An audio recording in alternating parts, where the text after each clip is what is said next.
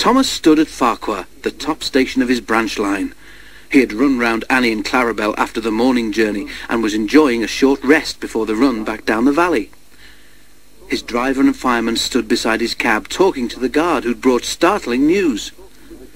Did you know that the station master was burgled last night? he was asking. Thomas's driver shook his head. You don't say, he exclaimed. I didn't know he had anything worth stealing. Won cups for gardening, exclaimed the fireman. All taken, and then the scoundrels had the cheek to pinch his car to carry them away in. Not that new one he's so proud of, said the driver. The guard nodded, and at that moment the signal rose to show that the line was clear. The driver and fireman climbed into Thomas's cab. The guard blew his whistle, waved his green flag, and got into Clarabel, and Thomas set off. By the time they were through the tunnel, the train was running nicely. Road and railway were beside each other here, with only a stream between them. Thomas remembered his race with Bertie the bus. He'd only won because he could go through the hill, while Bertie had to go over it. A flash of colour on the road ahead caught his eye. He tried to go faster to look more closely. Steady, Thomas, said his driver. There's plenty of time. Can't we get closer to that car? panted Thomas. It looks like station masters to me. Lots of cars look like that, laughed the driver, but he opened the regulator and they began to draw level. There were two men in the car. They waved when they saw Thomas and tried to go faster. That's the car all right, Thomas, said the fireman, and those two must be the thieves. But we can't stop them, and they'll be gone long before the next station. We need pencil, paper, and something to put a note in, said the driver. We'll throw a message out at the next signal box. Quickly, he wrote the note, and they put it in the fireman's empty lunch tin. Then, drawing ahead of the car, Thomas whistled to attract the signalman's attention.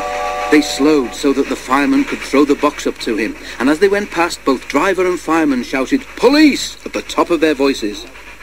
By now, the stolen car had gone well ahead, and Thomas did not see it again. But the signalman telephoned police headquarters at once, and the thieves were stopped at a roadblock about ten miles further on. That afternoon, the Fat Controller travelled in Annie to Farquhar. When he got there, he and the station master climbed onto a porter's trolley. They told the passengers the whole story, and the station master thanked Thomas, his driver, and his fireman for their prompt action. The passengers cheered loudly, and they cheered even more when they heard that the station master's gardening cups had all been found undamaged in a sack in the boot of the car. A long time ago, said the Fat Controller, holding up his hand for silence, Thomas showed how valuable he is to the smooth running of my railway. I am sure you will all agree that today he has once again proved himself to be a really useful engine.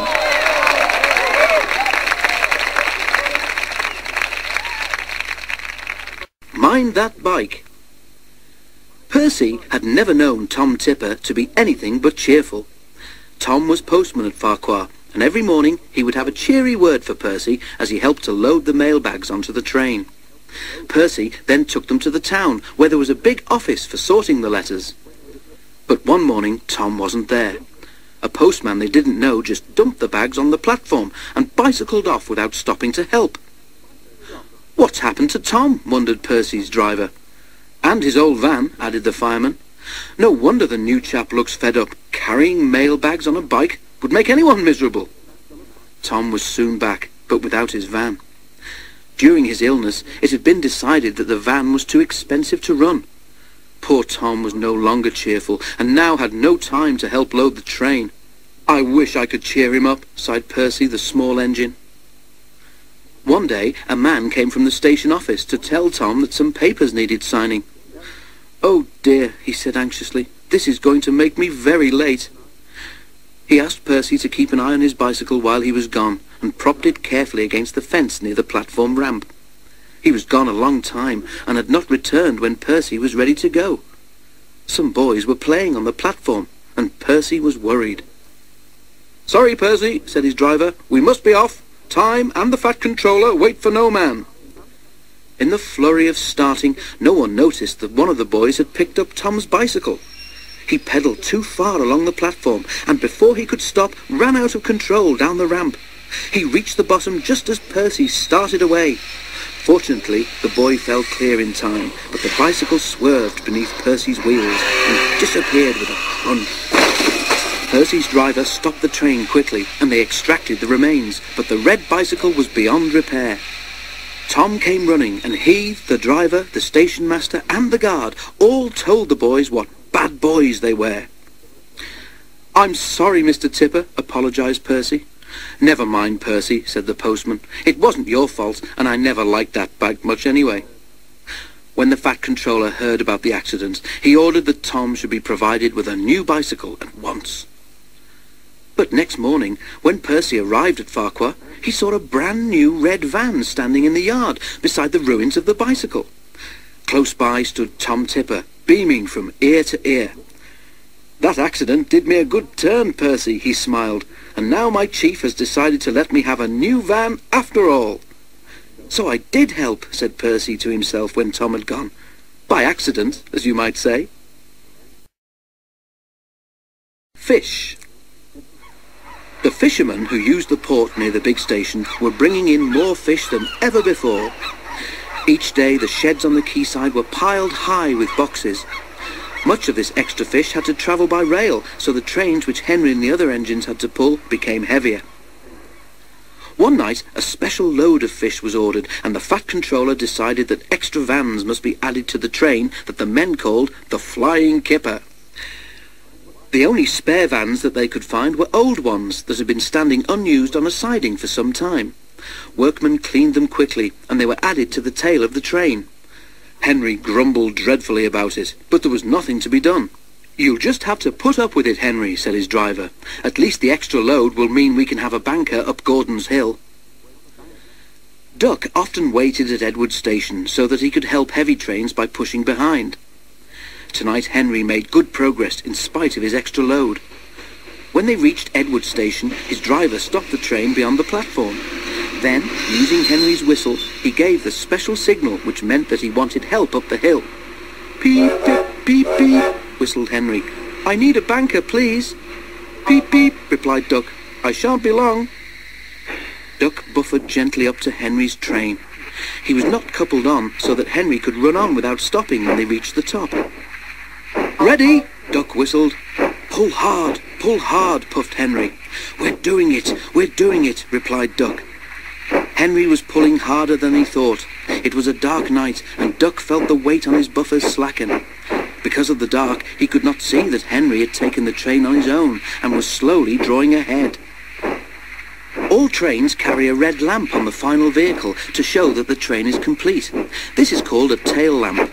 Duck's driver began to be worried. There's no sign of a tail lamp, he said to the fireman, but we must keep going. Duck whistled, but there was no reply from Henry. Henry, meanwhile, was going well, but his train seemed to be getting heavier. He had to keep moving, but he could not avoid slowing down. Suddenly, from behind him, there came a splintering crash. Duck's front bent and pieces of broken wood began to fall on him, one of them denting his funnel. He stopped quickly, and Henry, feeling the jolt, stopped too, just beyond the top of the hill. Over Gordon's Hill, a smell of fish hung on the air. By the light of torches, the drivers and firemen tried to work out what had happened, while the guard ran back down the hill to warn the signalman. When daylight came, it was all too obvious. The lamp iron on the old van, which should have held the tail lamp, had broken, and the lamp had fallen off at the bottom of the hill. Not your fault, Duck, said the Fat Controller. That lamp iron should have been checked. Don't worry, we'll soon have your funnel and front straightened out. Thank you, sir, said Duck sadly. Thomas told me once to be careful about fish. He was right, sir, wasn't he?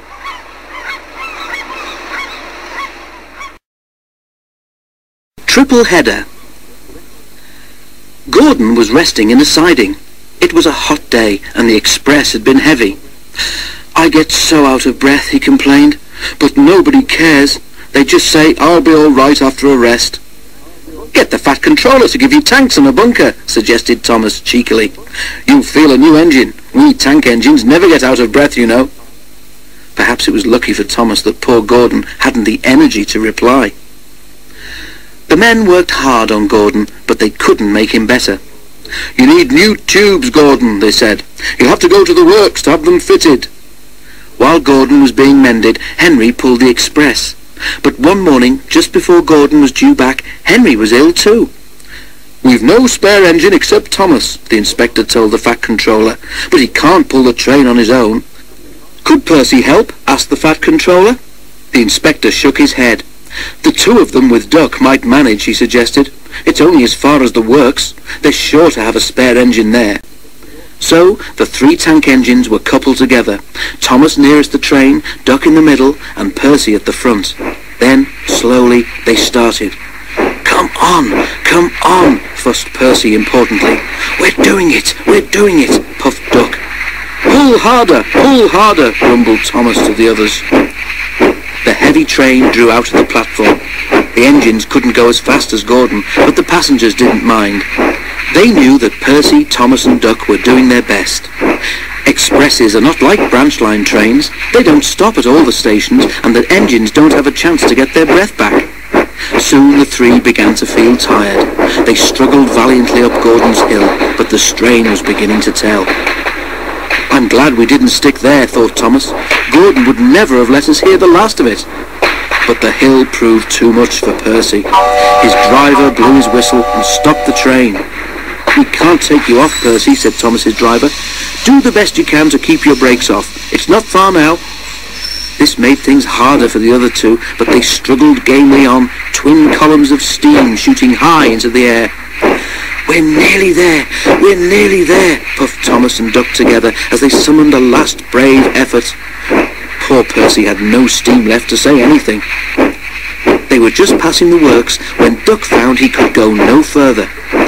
Thomas could not pull the heavy train on his own, and the cavalcade came to a standstill a few yards short of the station platform. And there, standing watching from the works siding, stood Gordon. The Fat Controller, who'd been on the train, told the three engines he was proud of them.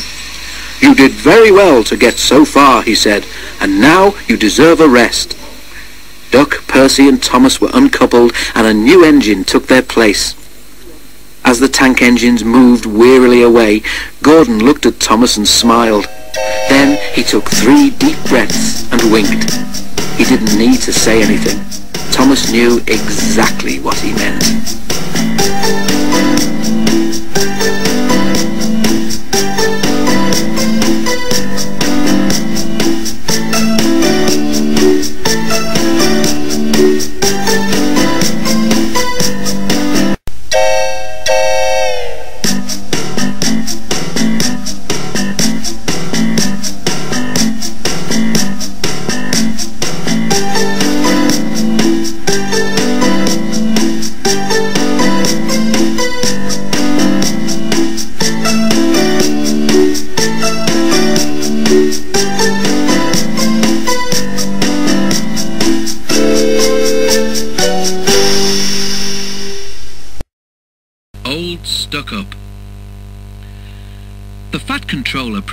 Steam engines on his railway, but he found diesels useful because they could pull either coaches or trucks. You're versatile, he would say to them. Real mixed traffic engines. BoCo and Bear were proud of this, but James was not impressed.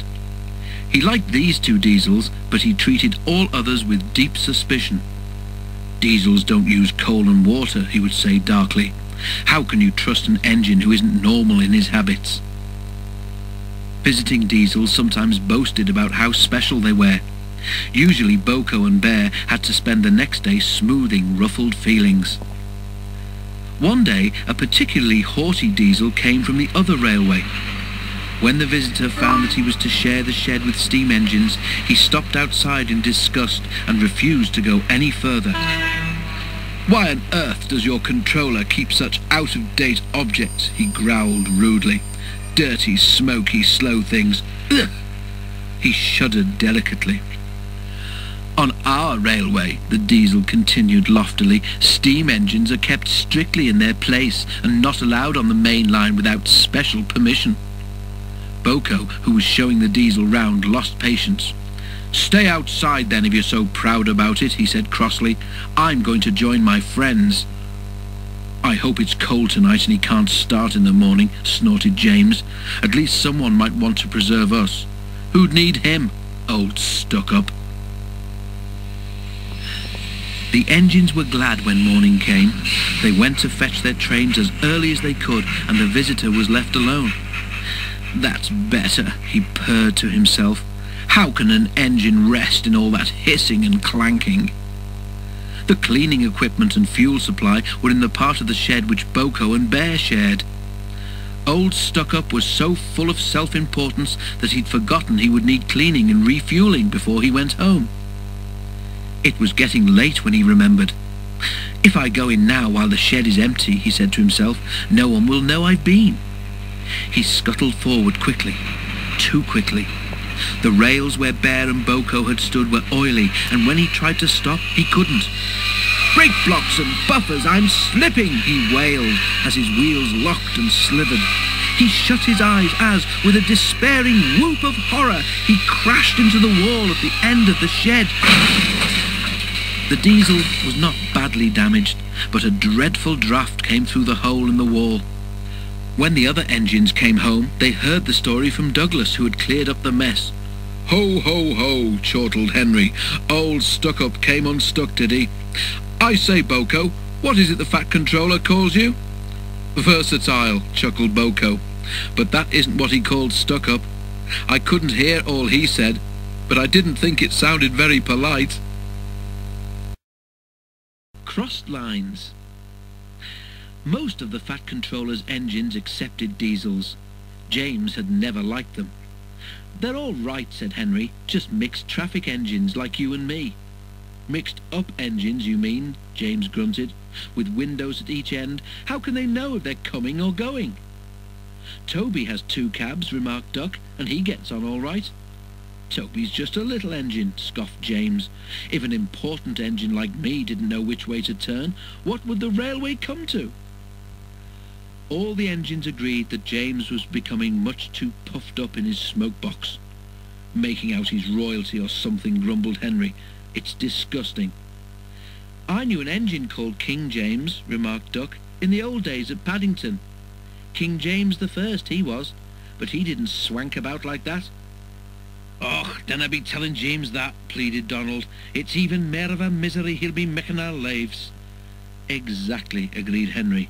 But who's going to trim his wheels for him? The engines tried all sorts of ideas, but nothing worked. James grew so conceited that the others were glad when he was away. Even the coaches twittered anxiously to each other if they thought he was to pull them. One day James came to the shed, fuming with rage. Shunting, he snorted. Where are Donald and Douglas? They should be here for jobs like that. But the twins were helping on Edward's branch line, so James had to do the work himself. James's train had long trucks called well wagons. These have bogie wheels at each end, with a low section between them. They're used to carry cars, tractors and other heavy machinery. The shunting should have been easy, but James was cross and bumped the trucks. Oh, oh, oh, oh, oh, they cried. Some of them slipped their brakes on to spite James. The weather was damp and misty too, so the shunting took a long time. At last James had only two trucks to fetch before his train was ready. Because of the mist, the signalman sometimes found it hard to see what was happening. James's driver told him that James would whistle when they had collected all the trucks and were clear of the points.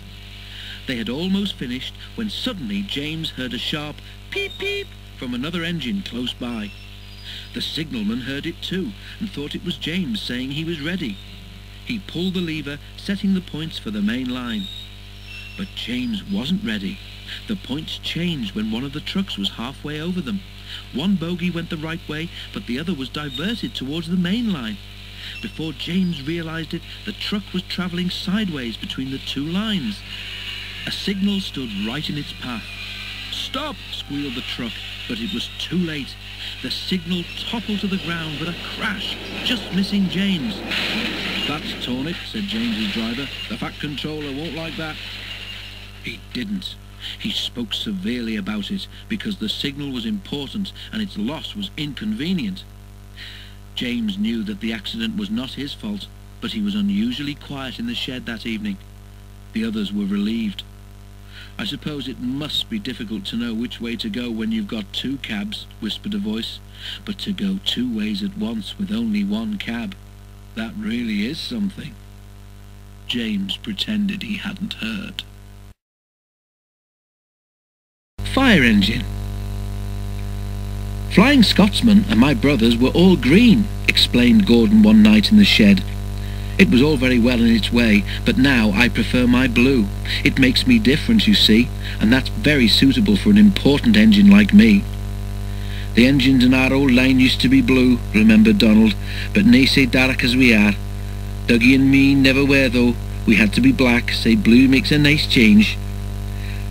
I like my green too, agreed Henry. I'd hate to be red like James. People would think I was a fire engine. At least people can see me coming, retorted James. I don't disappear into the background like some engines I could mention.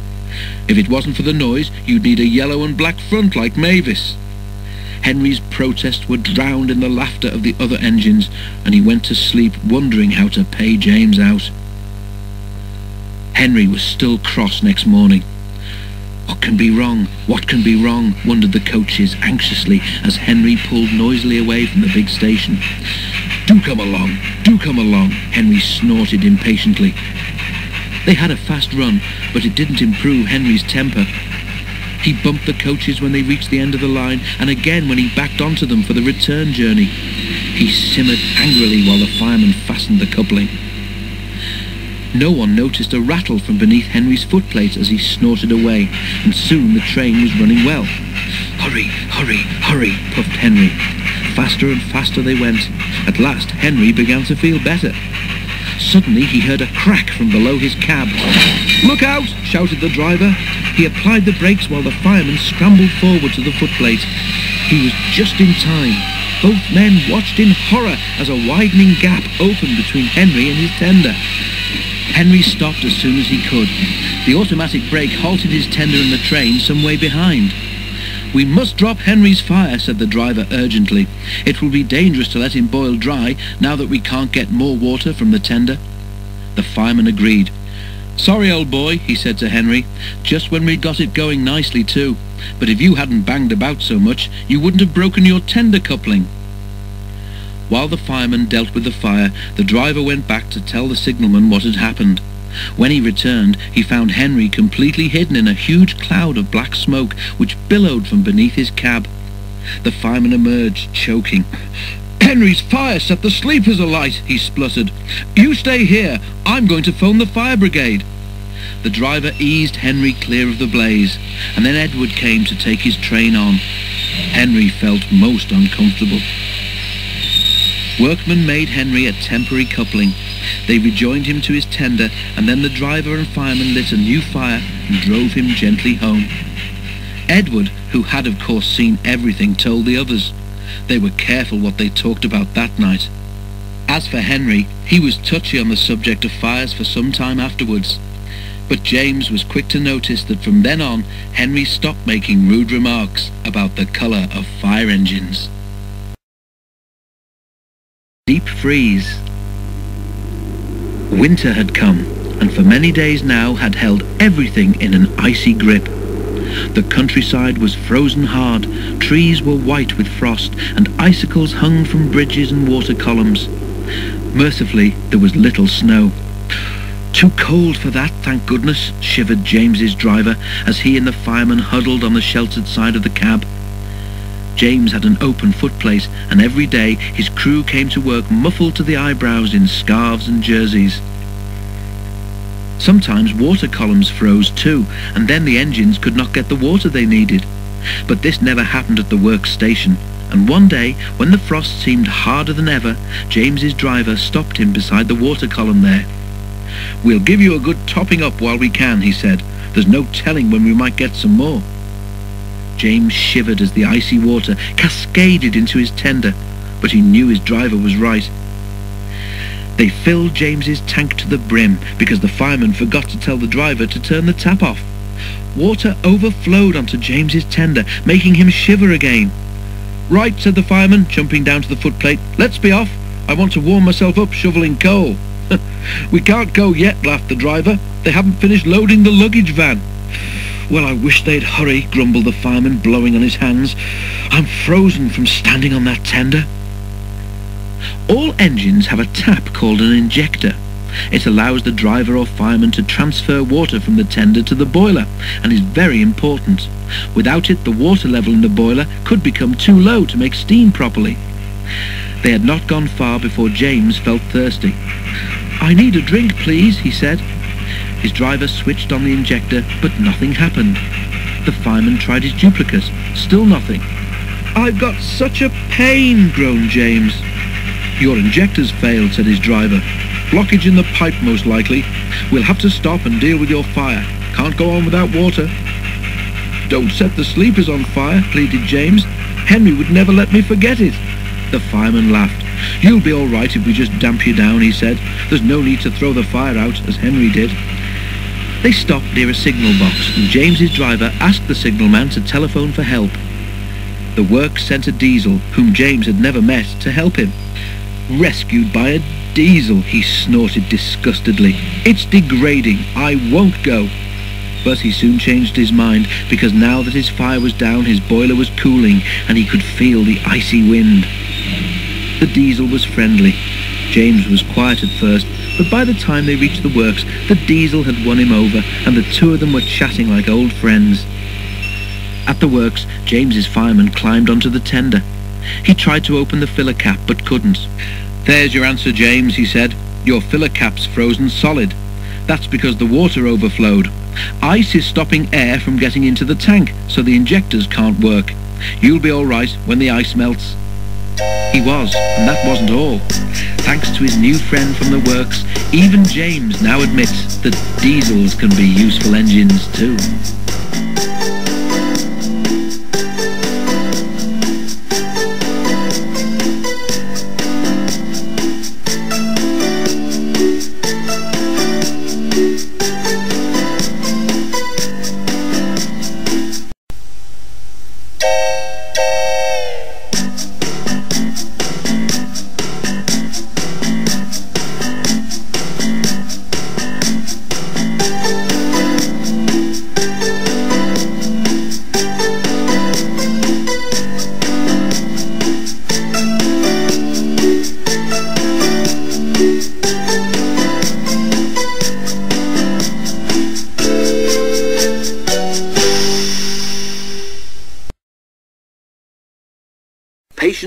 A virtue. The thin controller held a letter in his hand. Six little engines watched him anxiously. Do you remember Talyllyn, your twin? he asked Skarloey. He is ill, so his controller is short of an engine. Now, I can't spare anyone until Duke is mended, but I want to suggest to him that one of us... Oh, sir, please, sir, cried the engines excitedly. The thin controller held his ears. You can't all go, he laughed. I thought Sir Handel... Oh, sir, said Sir Handel happily. A few days later, Duke was taken to the works. Sir Handel's excitement grew. I hope he comes back quickly, he said to anyone who would listen. Don't be so impatient, his driver laughed. There's a lot to be done. Your repairs took a long time, remember, and Duke is older than you. The weeks passed, and still Duke didn't come back. Sir Handel became more and more impatient. One day he was waiting at the bottom station when Gordon arrived. I've been invited to Wales, Sir Handel told him importantly, but I can't be spared until Duke is mended. Quite right, said Gordon. It's a great responsibility being indispensable. Gordon says I'm, uh, uh, insensible, Sir Handel boasted to the others. They were amused, but not impressed. Summer came and crowds of visitors came to the railway.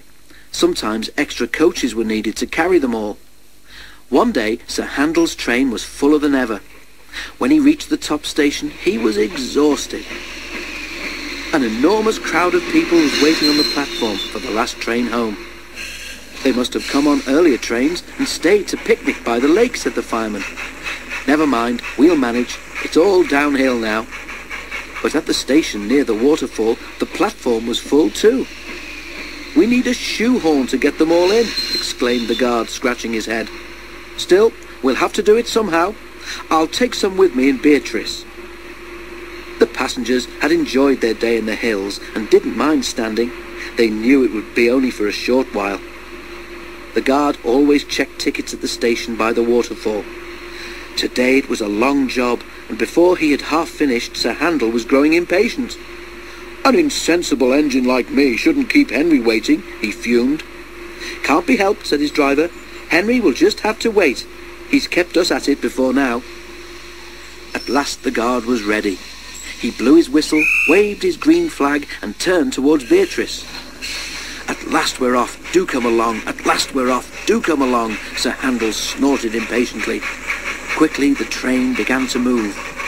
The guard tried to get into Beatrice, but her doorway was blocked by passengers. By the time they'd moved to let him in, the train was out of the station and the guard was left standing on the platform. Beatrice tried to stop, but there was no one to put her brakes on. The guard blew his whistle and waved a red flag, but the line curved and Sir Handel couldn't see or hear him. Luckily, a passenger in Beatrice knew what to do. He pressed a button and a buzzer sounded in Sir Handel's cab. His driver braked hard. Now what? he asked the fireman. Go and find out. Maybe we've left someone behind. They had, of course. They soon discovered who. Passengers helped the guard into Beatrice, and after a fast run, the train reached the terminus at the same time as Henry. Sir Handel stopped with a sigh of relief. The guard came to see him. I'm sorry I was impatient, Mr. Guard, said Sir Handel nervously. I didn't want to be late. Insensible engines shouldn't be late, should they? No, agreed the guard, but sensible engines know that patience is a virtue. Remember that next time. I'll try, promised Sir Handel sadly. Peter Sam and the Prickly Problem Duke returned at last, and Sir Handel went away. The other engines were kept so busy that they didn't have time to miss him. Hedge cutters had been busy too, trimming trees and bushes beside the railway so that passengers could see the view. Each evening Rusty took some trucks up the line and carried away as many cuttings as he could. But he could manage only a few at a time, and as fast as he moved the cuttings, more took their place. It was Peter Sam's turn to take the morning train. The coaches were full, but the rails were dry, and Peter Sam didn't mind the extra load. He puffed happily along until, just beyond the tunnel, he found that, in the night, a high wind had blown hedge cuttings across the rails. He stopped, and his driver and fireman got down. We'll never get through that lot, exclaimed the fireman. Pooh, scoffed Peter Sam. They're only little branches, nothing to it. We'll simply push them aside. Have it your own way, said his driver. If we stop to clear up properly, we shall be here for ages, and some of the passengers might miss their train at the bottom station. Peter Sam puffed bravely on. He went carefully at first, and the branches slid aside easily. Then came a stretch where the cuttings were brambles. Peter Sam began to regret his boasting. Not only were the thorns prickly, but they caught in each other and the branches stayed firmly put. Ouch! exclaimed Peter Sam suddenly and stopped. I can't move, he complained. The fireman looked. It's no good, he said at last. You've got brambles caught in your valve gear and steam can't get into your cylinders. We shall have to cut you out. Peter Sam shuddered. He shut his eyes and prepared for the worst. The fireman pulled on thick gloves. Then, while he tried to clear what he could, the driver went to ask the guard if he had a knife. Some of the passengers had knives too and came to help.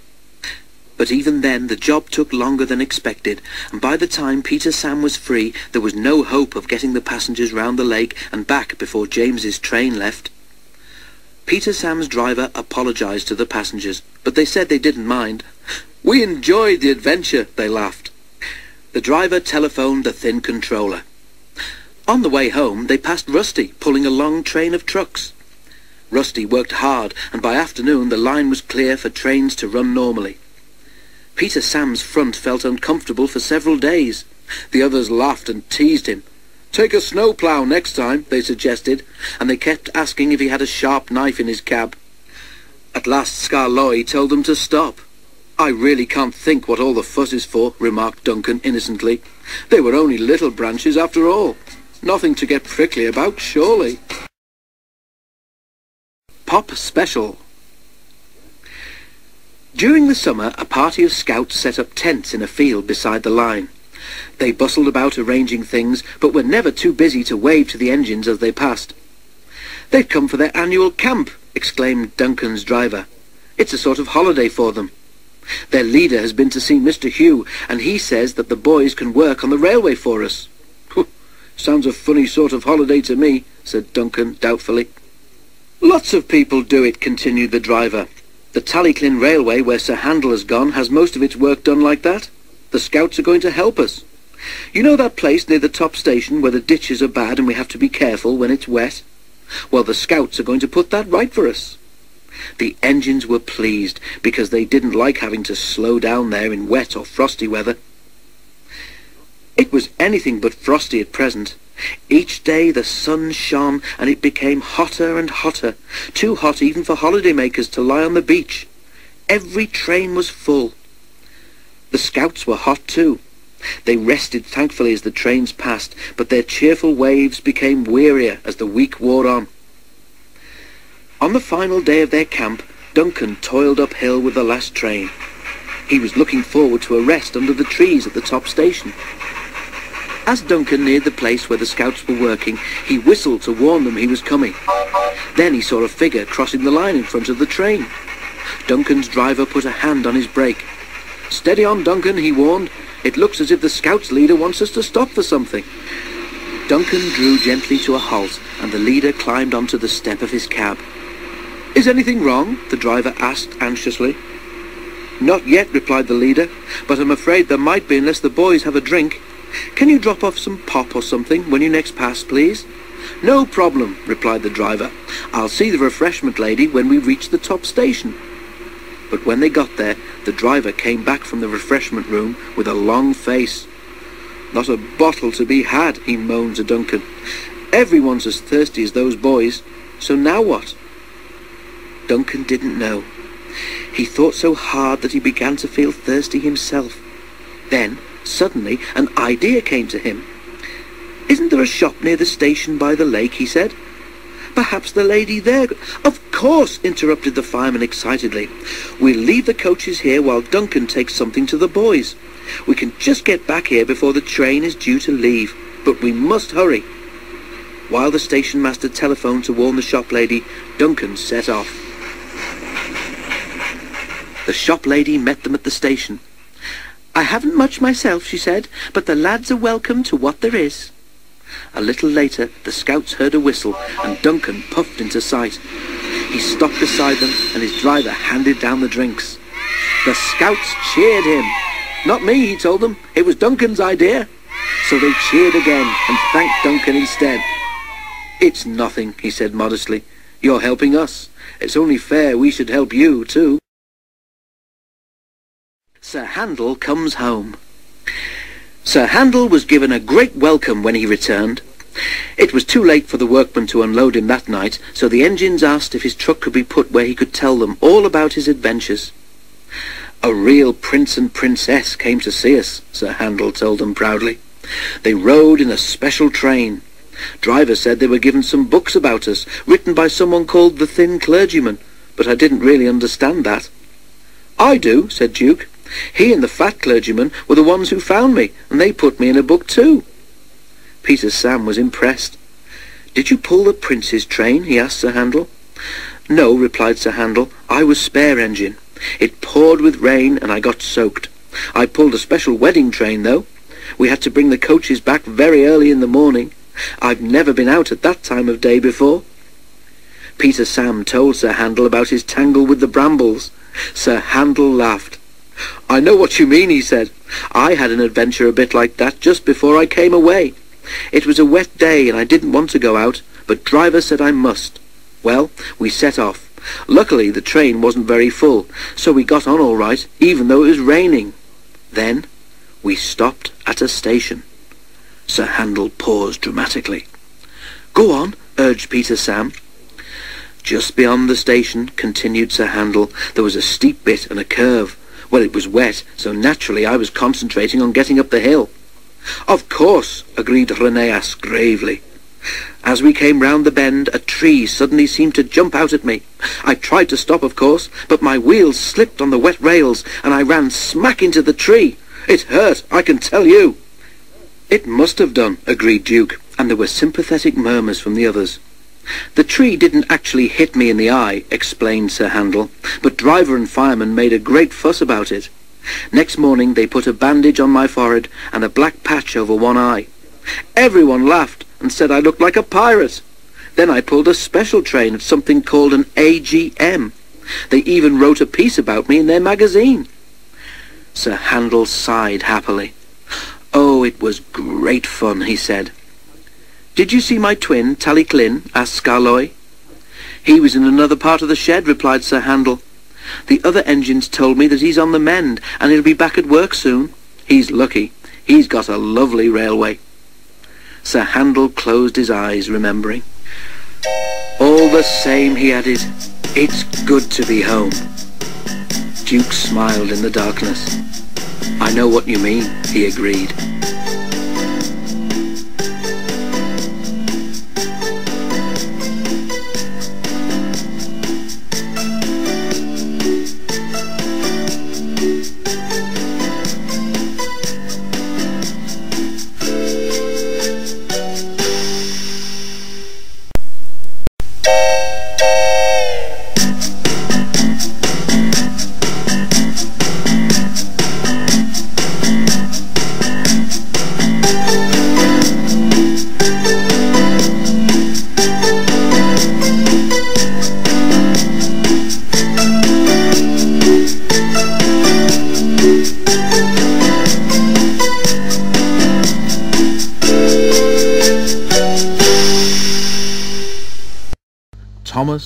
And the coal. Thomas the Tank Engine's blue paint sparkled in the sunshine as he puffed happily along his branch line with Annie and Clarabel. Blue is the only proper colour for an engine, he boasted to the other engines. Oh, I don't know. I like my brown paint, said Toby. I've always been green. I wouldn't want to be any other colour either, added Percy. Blue is the only colour for a really useful engine. Everybody knows that, spluttered Thomas. Percy said no more. He just grinned at Toby and winked. Each day Percy brings a truck full of coal from the junction for the coal merchants at Farquhar. Next morning Thomas was resting when Percy arrived. Be careful in this siding, Percy, warned Thomas, as Percy pushed the trucks along the line beside him. These buffers aren't very safe. They... He got no further. As one of the coal trucks passed Thomas, the catch on its door burst open. With a rumble and a crash, an avalanche of coal poured out and piled up around Thomas's wheels. A thick cloud of coal dust arose all around him. A tissue, spluttered Thomas. Help, I'm choking! Get me out! Percy looked worried. Then, as the dust settled, he looked at Thomas and began to laugh. Thomas's smart blue paint was black from smoke box to bunker. Ha ha ha, chuckled Percy. You don't look really useful now. You should see yourself. You look really disgraceful. I am not disgraceful, choked Thomas furiously. You did that on purpose, Percy. Now stop your stupid giggling and get me out. But it was some time before Percy could help. The coal bunker stood behind the buffers which Thomas had said were unsafe. It was only when the coal was shoveled into the bunker that Thomas could be moved. Poor Thomas was filthy. You're not fit to be seen, grumbled the cleaners. It took so long to clean Thomas that he wasn't ready in time for his next train, and Toby had to take Annie and Clarabel with Henrietta. The cleaners were tired and dirty when they had finished. Thomas was grumpy in the shed that night.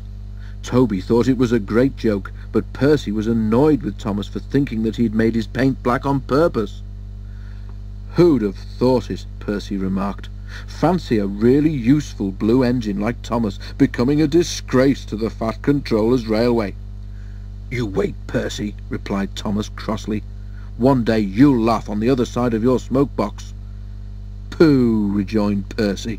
I wouldn't have missed all that fun for anything. The feud worsened as time went on. Thomas thought Percy had coal-dusted him deliberately, and Percy was cross with Thomas for thinking so. Two days later, Thomas was at the platform when Percy brought his trucks from the junction. Percy arranged them and ran into a siding for a drink before Thomas's train left. The water column stood at the end of the siding with the faulty buffers. As Percy tried to stop, he heard a cracking sound, and to his horror found that he couldn't. The buffers didn't stop him either. "Oh!" uh, wailed Percy. Help! The buffers broke, and Percy ran into the coal bunker with a thud. Coal flew everywhere, and when the dust had settled, Percy had disappeared beneath a thick black cloak. Thomas watched from the platform.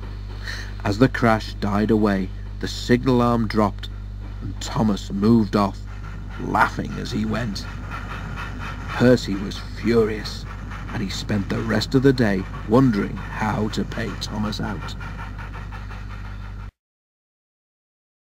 The Runaway Percy was soon mended, but one morning Thomas woke feeling ill. The Fat Controller sent him to the big station to see if they could make him better there, but it was no use. Edward must take you to the works, the Fat Controller told him. Then he went to see Duck. I want you to go and help Percy and Toby while Thomas is ill, he said. Donald and Douglas will do your work here until Thomas comes back. Duck was delighted. He knew Percy already, and it wasn't long before he'd made friends with Toby, Terence and Bertie. Percy, who was still cross with Thomas, was glad to have someone new to talk to. Even Annie and Clarabel were impressed. Such nice manners, they told each other. It really is a pleasure to go out with him. They soon made Duck welcome, and he laughed when they told him how Thomas had once left their guard behind at the junction. When Thomas came back, Annie and Clarabel told him how well Duck had managed. Though Thomas was jealous at first, he was so pleased to be home that he soon forgot it. But he didn't forget the affair with the coal. Percy was careful to keep out of his way. The works had left Thomas's handbrake very stiff. It made his brakes seem as if they were on, when in fact they weren't, and Thomas's driver and fireman soon learnt to be extra careful. But one day Thomas's fireman was ill, and a relief man took his place. At the junction, Thomas ran round Annie and Clarabel. While his driver chatted to the station master on the platform, the fireman fastened the coupling. The driver had told him about Thomas's brake, but unluckily he had forgotten. When he had finished with the coupling, he joined the driver and station master on the platform. Thomas simmered happily. In the distance Henry appeared. Not long now, thought Thomas. At that moment, Thomas felt his wheels begin to move. He tried to stop, but he couldn't without his driver and fireman. He tried to whistle a warning, but he couldn't do that either. The guard shouted from the platform, but that did no good. The guard, driver and the fireman were all stranded, and the passengers were left on the platform staring. Thomas, Annie and Clarabel gathered speed out of the station. The empty coaches shrieked as they rounded the curve, but Thomas, with plenty of steam, kept on going. The signalman at the junction soon realized what had happened and sent a message along the line. An inspector prepared to stop the runaway at the station near the airfield where Harold the helicopter stood ready in case of emergency. But Thomas was still going much too fast. Quickly, the inspector climbed aboard Harold and they took off. I must get there in time, I must, he whirred anxiously. Below, Thomas was tiring. I need to stop. I need to stop, he panted wearily. Annie and Clarabel held back as they went uphill. As they neared the station, Thomas saw Harold land and the inspector run towards the platform where he stood waiting. This time Thomas entered the station slowly enough for the inspector to act. Running beside the train, he judged his moment, jumped and scrambled into Thomas's cab. Then he put the brake hard on. With a sigh of relief, Thomas stopped. The inspector mopped his brow. Phew, he remarked. Wearily, Thomas agreed with him. Better late than never. Workmen were mending the viaduct on the main line. The arches needed strengthening, but the Fat Controller did not want to close the railway while the work was done, and so repairs took a long time. The engines had to take great care when crossing the viaduct, and the delay often made them late at the junction. Thomas was cross. Time's time, he grumbled. Why should I keep my passengers waiting while Henry and James dawdle about all day on viaducts? Don't blame me, snorted Henry one day. If we hurried across the viaduct, it might collapse, and then you'd have no passengers at all. What would you do then, eh? Run my trains on time for one thing, retorted Thomas, and hurried away before Henry could answer. At the top station, Bertie was timed to arrive just after Thomas. His passengers soon found that instead of going straight from Bertie to their train, they were having to wait until Thomas arrived. Late again, remarked Bertie one day as Thomas panted wearily in ten minutes after time. I thought you could go fast, Thomas. It's time we had another race. I reckon I could beat you now. Thomas went bluer than ever and let off steam loudly. Rubbish, he hissed fiercely. I'd still beat you any day. It's those mainline engines. They dither about on their viaduct and then blame the Fat Controller's workmen. It's just an excuse for laziness, if you ask me. One day, James was later than ever at the junction. I'm sorry, Thomas, he puffed as he came breathlessly to the platform. I was held up at the big station, and the viaduct made it worse. It's lucky for you I'm a guaranteed connection, snorted Thomas. He puffed importantly away, leaving James at a loss for words. Peep, peep, whistled Thomas at every station. Get in quickly, please. The passengers did their best, but Thomas soon found that he couldn't save much time. As they neared the tunnel, Thomas thought he saw a flash of red on the road beside the line. That looks like Bertie, he said to himself. But Bertie should have got to Farquhar ages ago. It was Bertie. Thomas stopped as close by as he could. What's the matter? he asked. I feel dreadful, mourned Bertie. All upset inside, and driver says he can't make me better. Thank goodness you're late. Can you take my passengers, please? They'll never get home otherwise. Of course, agreed Thomas. Thankfully, the passengers climbed into Annie and Clarabel, and after promising Bertie that he would send for help from the next station, Thomas set off again. Already he was feeling much more cheerful. All the passengers reached home safely, and when Bertie was better, he came to thank Thomas. I'm sorry I teased you about being late, he said. That's all right, said Thomas. I'm glad I could help. Perhaps being late isn't such a bad thing after all. Drip Tank One evening, Percy was bringing empty stone trucks from the harbour. He was tired of his quarrel with Thomas and wanted to be friends again. He had had a good day and was feeling extra pleased with himself. He was so busy thinking how he would tell Thomas and Toby about his expert handling of the trucks that he forgot to keep a good lookout. Too late, he saw a broken branch hanging over the line straight in front of him. Ooh, uh, he groaned. He tried to stop, but his brakes wouldn't hold him. Ouch! he exclaimed a moment later. The branch hit his smoke box, broke away and crashed to the ground. Percy was more startled than hurt, but his front was still sore when they reached the shed. It's your own fault, said Thomas unsympathetically.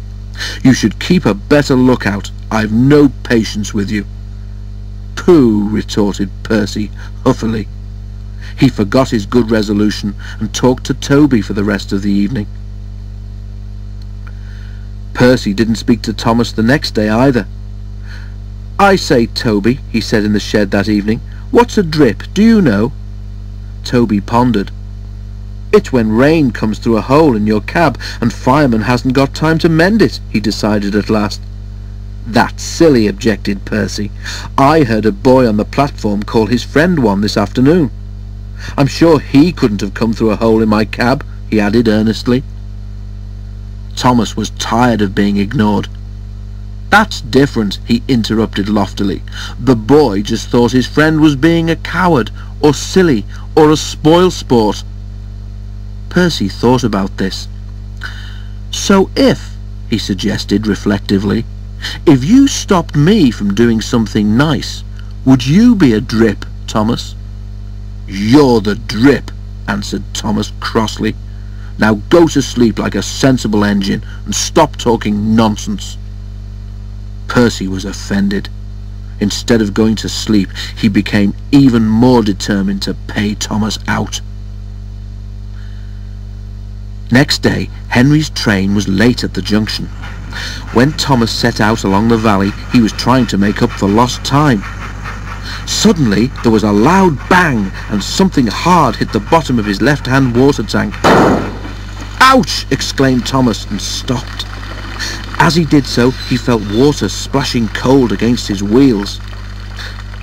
One of your side rods has broken, said his driver. It swung up and punctured your tank.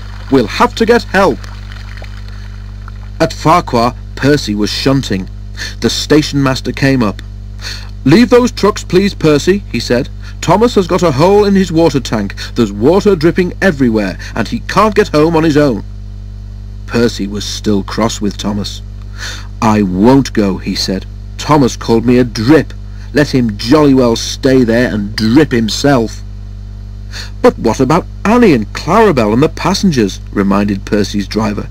Do they deserve to stay out all night too? Percy was sorry at once. I forgot them, he said. We must rescue them in case they turn into drips too. He hurried away. He found Thomas near the river. Everyone was glad to see him, and the passengers thanked him for coming. I'm sorry I was rude, said Thomas, as Percy helped him back to the shed. That tank of mine turned me into a bigger drip than we expected, didn't it? Can we be friends again, please? Percy was delighted to agree.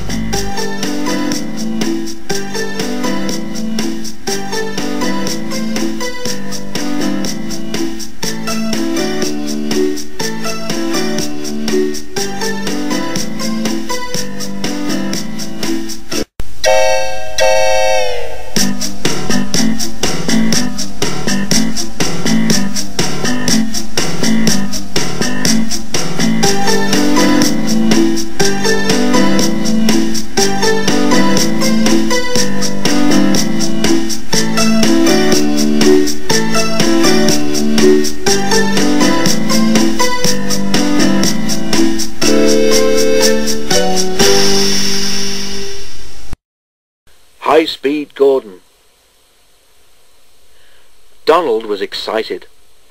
The diesels at yon works, he announced, say that on the other railway there are things called high-speed trains.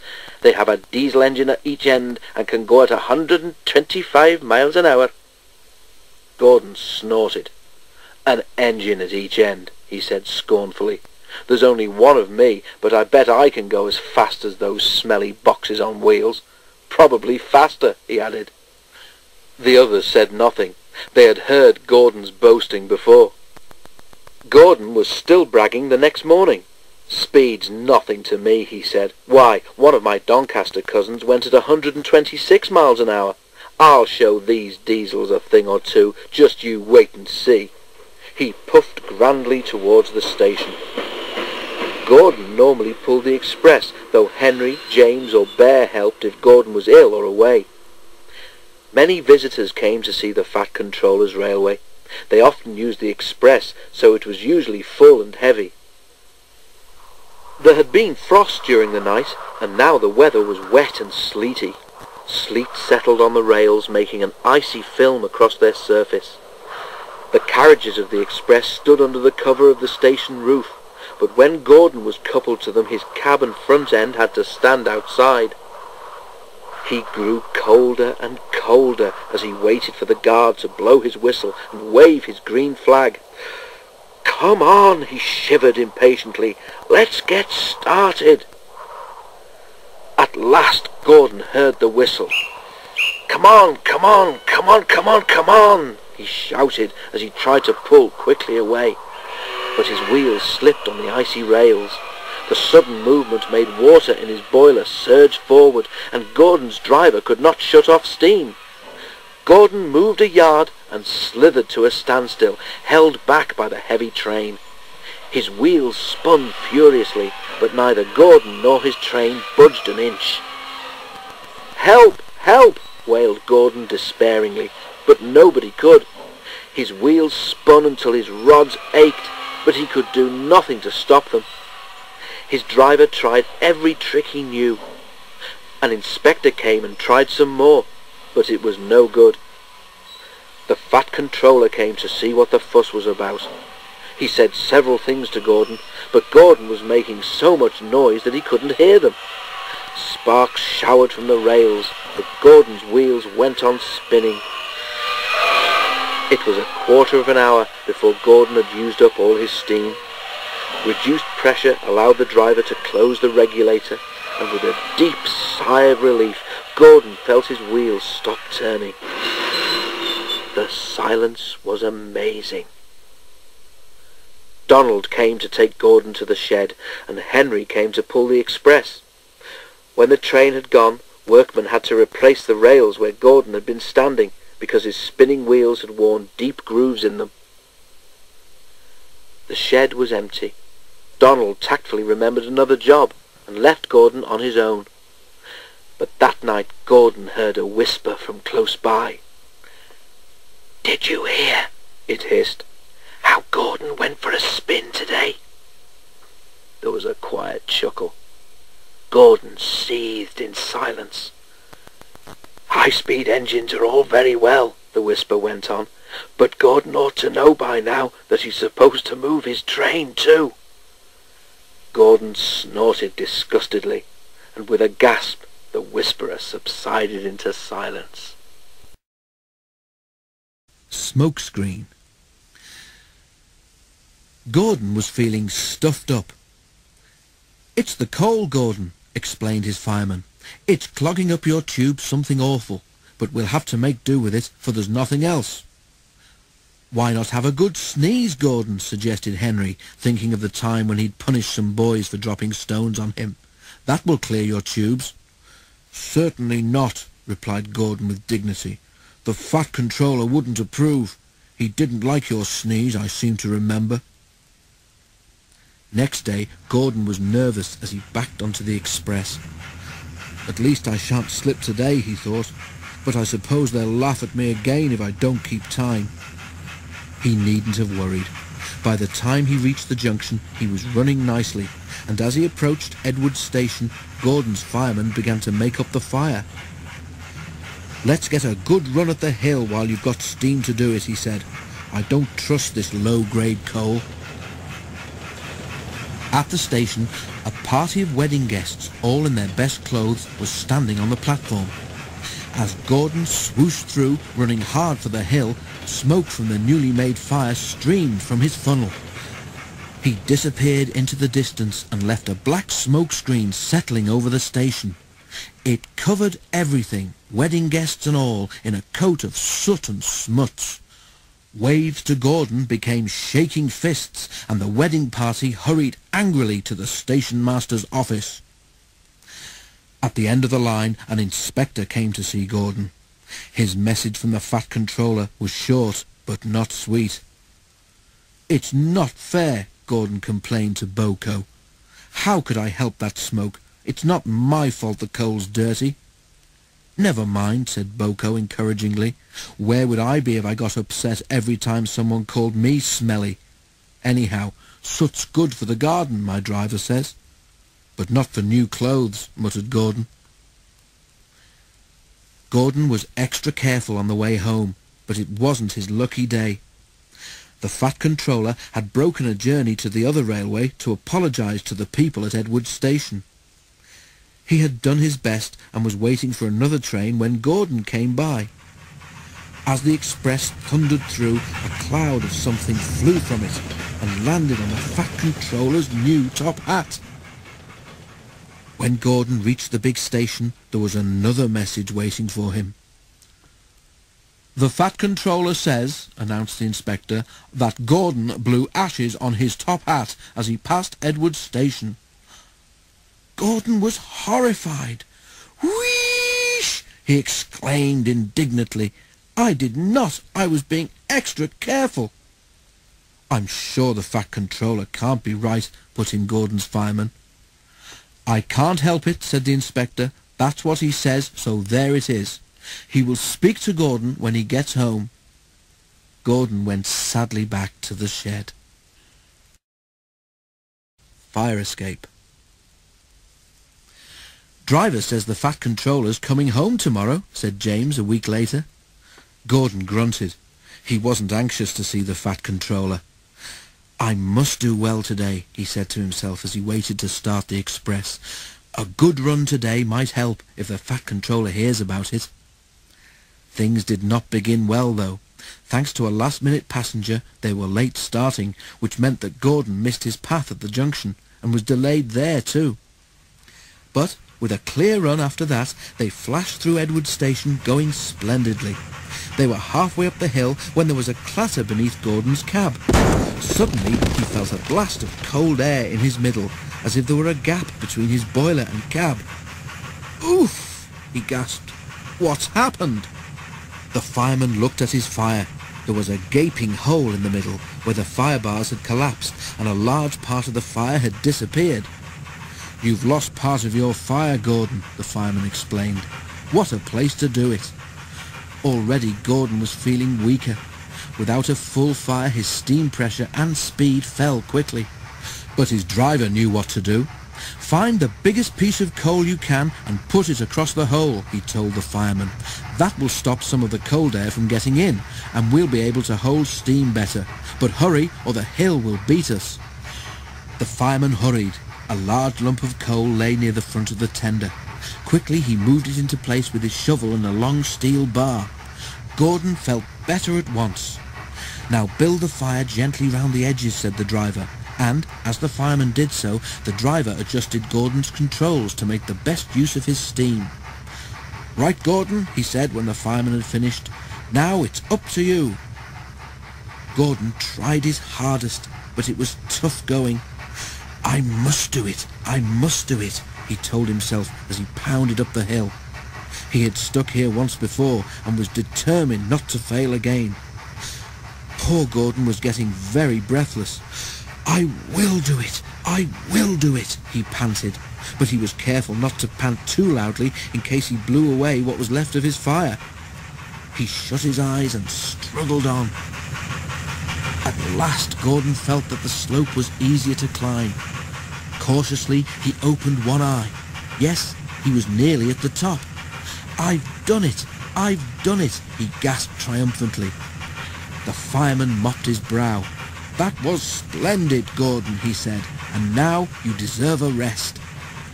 A signalman turned them into a goods loop and telephoned the works for a pilot engine to be prepared. While they waited, the passengers got out and told Gordon what a useful engine he was. BoCo was at the works to help, and the two engines finished the journey without further trouble. At the end of the line, the Fat Controller was waiting for them. To Gordon's surprise, he was smiling. Thank you, BoCo, he said, and thank you, Gordon, for a splendid effort. I am pleased with your work today, though certain, um, other things leave much to... But just then, a whistle blew, and the Fat Controller had to hurry to his carriage. Once again, poor Gordon was left in suspense. Gordon proves his point. One day, Gordon reached the big station on the mainland to find the platform crowded. It's a rail tour, explained his driver. Going along the coastline to Carlisle, I think. The station master came up. Can you help, he asked. These rail tour people are stuck because their train has failed. Could Gordon take them in his train, please? Gordon's driver laughed. You'll have to hold him back, eh, Gordon? he said. But you need the Fat Controller's permission. And what about our return train? The Fat Controller agreed at once, and then the station master rang the shed. What can you substitute for Gordon's Express? he asked. There's the high-speed train that came yesterday, they suggested. It's only got one power car working, but it should keep the Fat Controller's timing. Philippa, she preferred Pip for short, and Emma were delighted to stand in for Gordon. Pip's cooling system was faulty, making her hot and bothered, but Emma didn't mind doing all the work. They felt honoured to visit the Fat Controller's railway. James, following a little later with a stopping train, was surprised when the signalman at the station beyond the works came up. That high-speed diesel's failed, he said. Go gently until you reach it, push it to the next loop, and then go round in front to pull it home. Phew, remarked James. But what about the express passengers? They won't want to make our stops. Too bad, said the signalman. Better that way than your people missing their stations. James found the failed train about two miles in front. He pushed it to the next station and then got ready to pull. I'm sorry I can't help, apologised Emma, who was in front, but we are special lightweight coaches. That's lucky, said James, who was already feeling puffed. But he found it easier than he expected. Once the train was moving, the coaches followed smoothly. As for the passengers, if they wondered about the extra stops, they didn't complain. The Fat Controller met them. I'm sorry we're late, sir, said James. That's all right, James, said the Fat Controller. I'm pleased with you. You have saved an awkward situation. Now, please make Pip and Emma welcome in the shed while I arrange their journey home. The other engines were quiet at first, but they soon found the diesels friendly, and before long they were all laughing together. James was glad Gordon was away. He might, he thought, so easily have said something to upset them. Gordon came home next day. The Fat Controller forgave him for his smokescreen and said that he was sorry for thinking his spoiled top hat had been Gordon's fault. It had, he explained, been a steward emptying an ashtray from a carriage window. Now, Gordon, he continued, while you were in Carlisle, we borrowed a high-speed train. This has failed, and I want you to take her passengers home. He paused and smiled. Show them how we do things, eh? I certainly will, promised Gordon. Right, said Gordon's driver as they backed towards the train. Today, Gordon, my lad, you can have the run of your life. He did, too. Douglas was waiting to pull Pip and Emma home when Gordon passed Boop, boop, boop, whistled Gordon proudly, and with a swish and a roar he was gone. Pip and Emma watched enviously. Douglas chuckled. Oh, he said to himself, yon Gordon's a high-speed engine, but it's me who's pulling the high-speed train.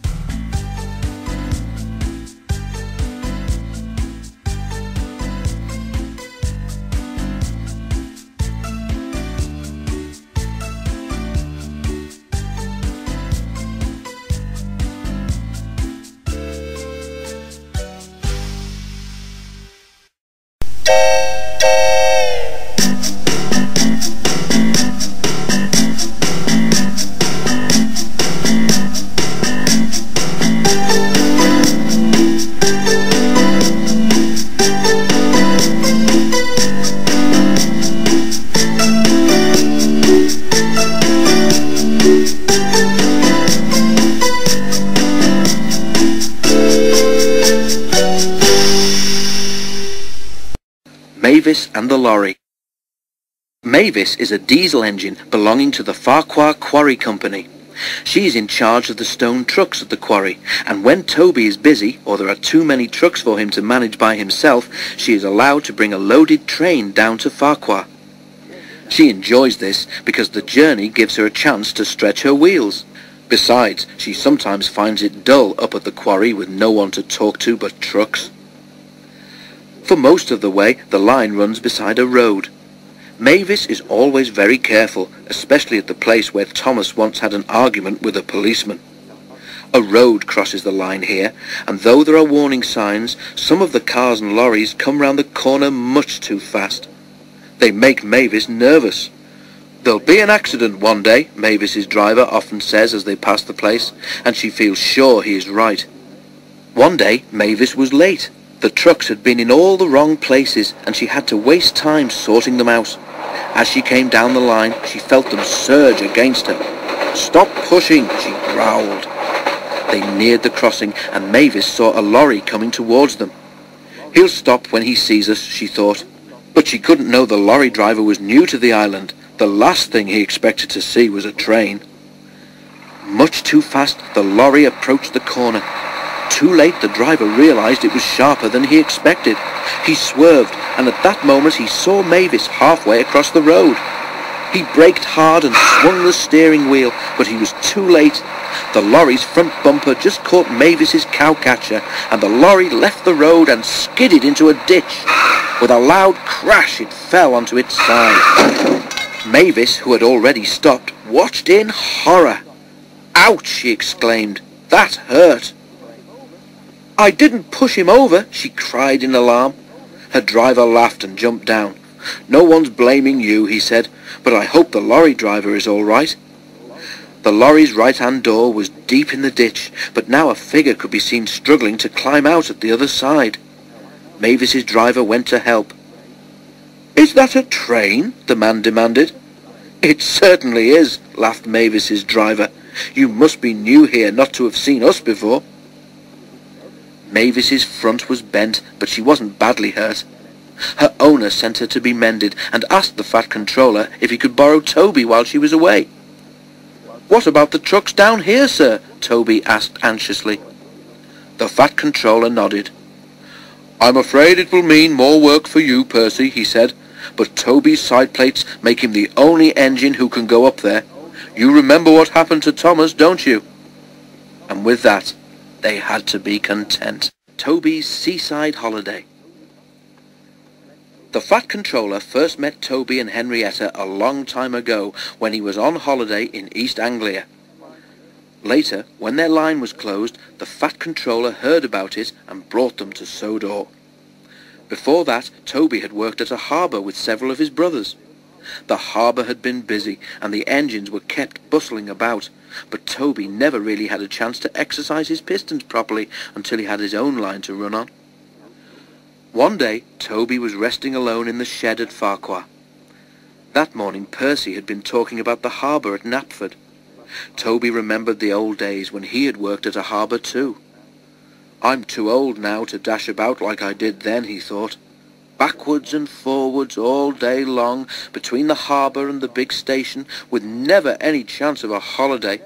But I did go to the seaside once, he remembered. For a while, anyway. His driver and fireman had been so excited when they came to work one day. We've been promised a trip to the seaside, they said. What do you mean? asked Toby. There's a seaside village near here, explained the driver, where they have a festival each year. Lots of people come to it, and one of the organisers thinks it would be a good idea to have a display of engines at the station as an extra attraction. And you, Toby, are to be one of them. Toby went to the shed at the big station. He was given new paint, a new bell, and his brasswork was polished until his driver could see himself in it. You haven't looked so smart for years, he said.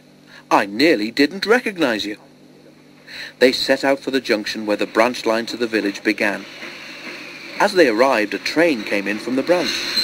The engine was younger than Toby, but he was dirty, his rods clanked, and steam leaked from everywhere. The poor engine, said Toby.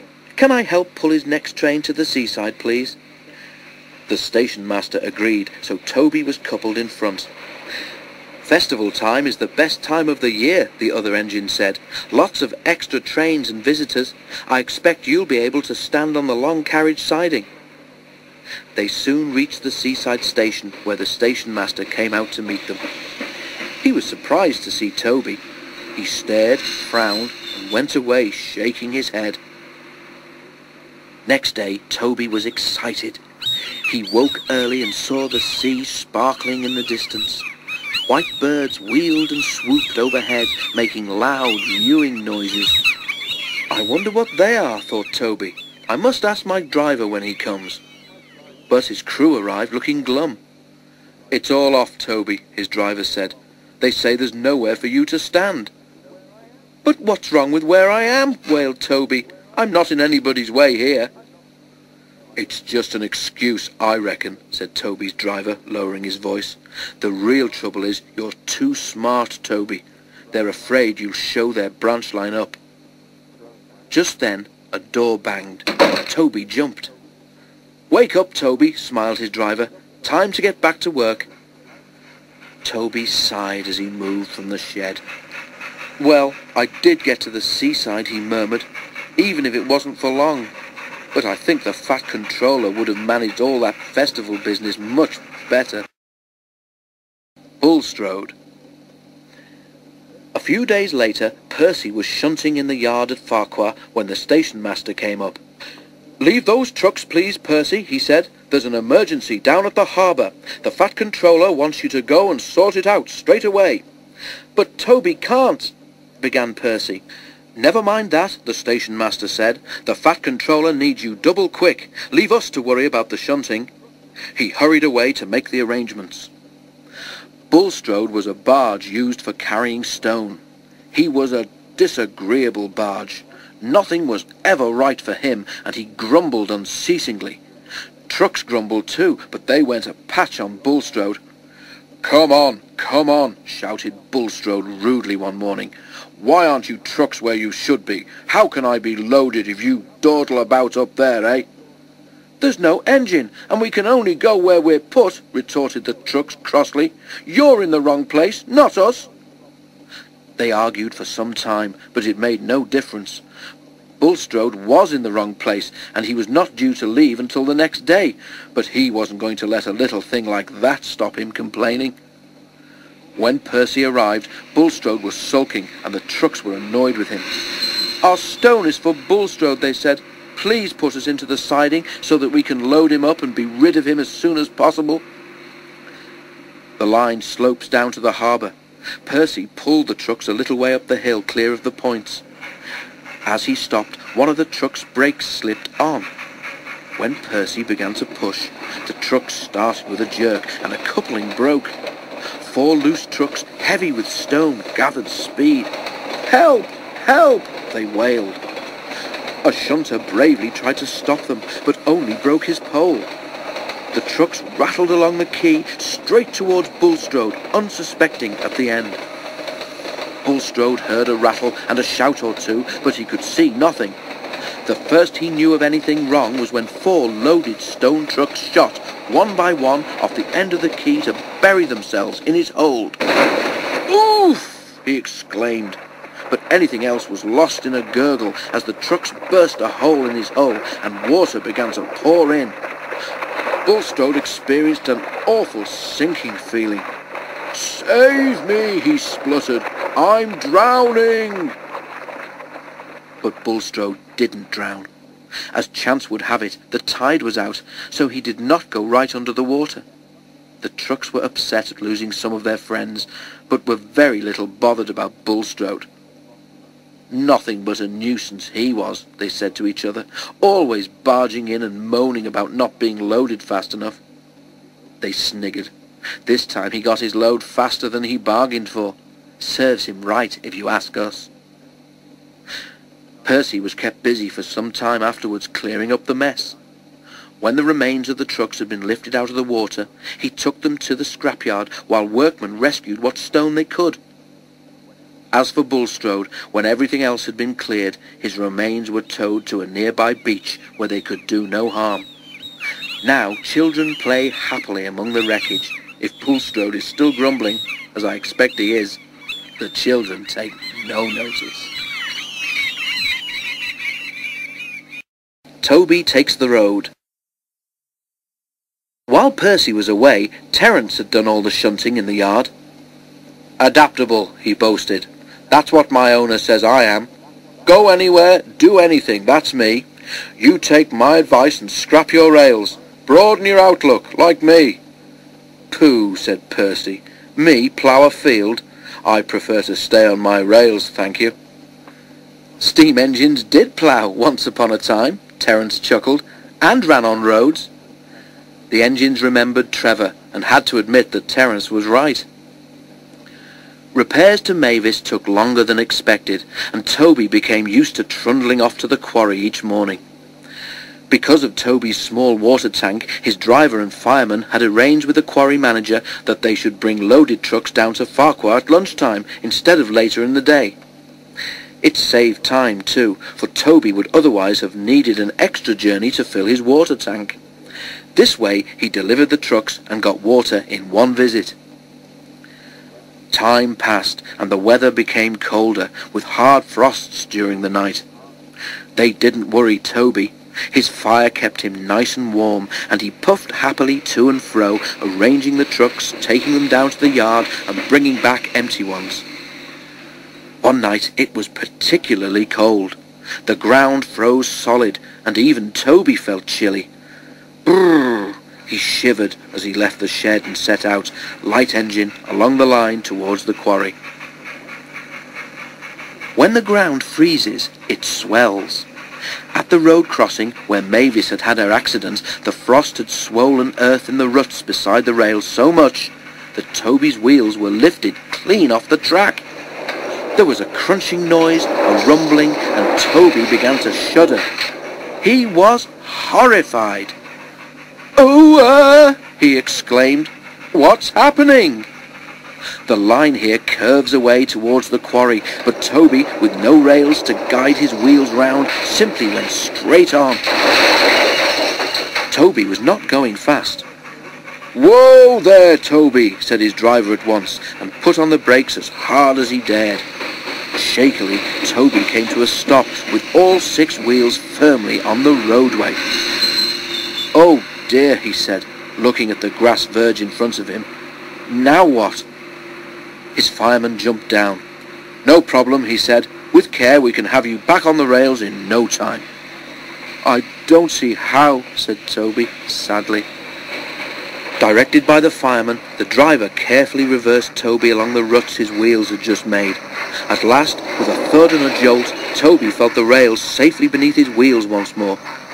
He heaved a sigh of relief. Well done, Toby, said his fireman. Now I'll spread a few hot ashes from your fire along there so that it doesn't happen again. Then we can get safely up to the quarry and no one will be any wiser. But they reckoned without the fat controller. When Mavis was home after being mended, he came to see the engines.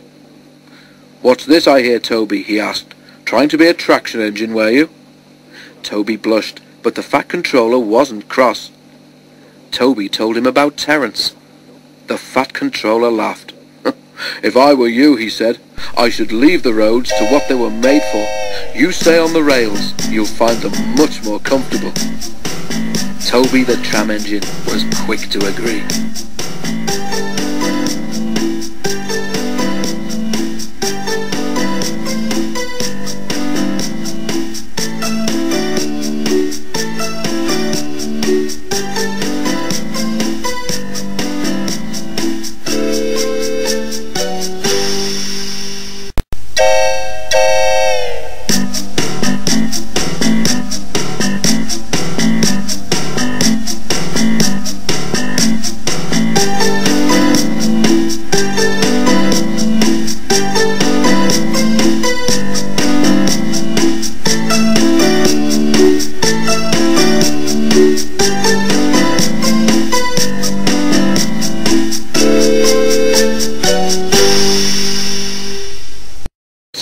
Scrambled eggs. The bridge across the river needs repair, the Fat Controller told the engines. I shall have to make a weight limit across it for a while. Percy and Daisy will be all right, and Toby too, but Thomas is too heavy. Thomas looked anxious. How would you like to go and help Edward? suggested the Fat Controller. Can Annie and Clarabelle come? asked Thomas. The Fat Controller shook his head. They'll be needed here, I'm afraid, he said. Daisy can't carry all your passengers on her own. Percy promised to look after Annie and Clarabelle, but they were sorry to see Thomas go. To cheer Thomas up, Edward took him to see Bill and Ben, the twin engines who lived at the China Clay Harbour. Oh dear, not another blue engine, said Bill cheekily. First Edward, then Donald and Douglas, and now... Don't forget Gordon, interrupted Ben. He came here once by mistake, so he said. I don't think he enjoyed it much, he added innocently. The twins both chuckled, remembering. No, but seriously, Edward, said Bill. Why doesn't the Fat Controller paint engines a proper colour, like us, for instance? Thomas let off steam indignantly. Let me tell you, he began. All right, you two, laughed Edward. Go and move those trucks, or there won't be room for any more. Bill and Ben, unabashed, went off happily. You just don't have to take them too seriously, explained Edward. Thomas smiled ruefully. I wish I knew how you deal with them, he said. Near the harbour, the line crossed a lane. The crossing had no gates. The lane led to a farm which made butter and supplied eggs and milk to shops in the town. One morning, the farmer had difficulty starting his lorry. He did it at last, but the lorry jerked along in fits and starts. The farmer was worried about his load of milk and butter and eggs. That milk will be churned to butter soon, he muttered to himself as he neared the level crossing. The lorry lurched across the rails. The back wheels were just clear when its engine made a noise like a tired sheep and stopped. The back of the lorry was still jutting out over the railway line. The farmer struggled to start it again, but it would not go. He had just got down to telephone for help when he heard a train approaching. Thomas wasn't going fast. When he saw the lorry, he set his brakes hard, but he couldn't stop. He hit the lorry with a loud crash. The force of the blow spun the lorry round. Splintered wood flew everywhere, and eggs, butter, and milk were catapulted over Thomas. Ugh! he exclaimed and stopped. Just look at my poor old lorry, said the farmer, emerging from behind the hedge where he'd been sheltering. What a way to make an omelette! The driver made sure that Thomas wasn't hurt, then stood back and surveyed the mess. He began to laugh. It's not funny, said Thomas crossly. An egg yolk trickled down his nose and burst on his buffer. You're not standing where I am, said his driver. You look just like a scrambled egg, Thomas. Well, if a scrambled egg feels as sticky and wet as I do, then it's very uncomfortable, said Thomas. Please clean me. Both driver and fireman tried hard, but the heat of Thomas's boiler had cooked the eggs, and they were stuck fast. Sorry, Thomas, said his driver at last. We can't block the line any longer. We shall have to go on. At the end of the line, Thomas was taken to Bill and Ben's yard to be cleaned. The twins were there. Hello, said Ben. What's this? Must be a new engine, said Bill. Ben inspected the arrival carefully. No, Bill, he said. That's not a new engine. It's Thomas. But it's our colour, Ben, and Thomas doesn't think our colour is proper for an engine. They heard a grinding noise. Are your joints stiff, Bill? asked Ben. But it wasn't Bill's joints.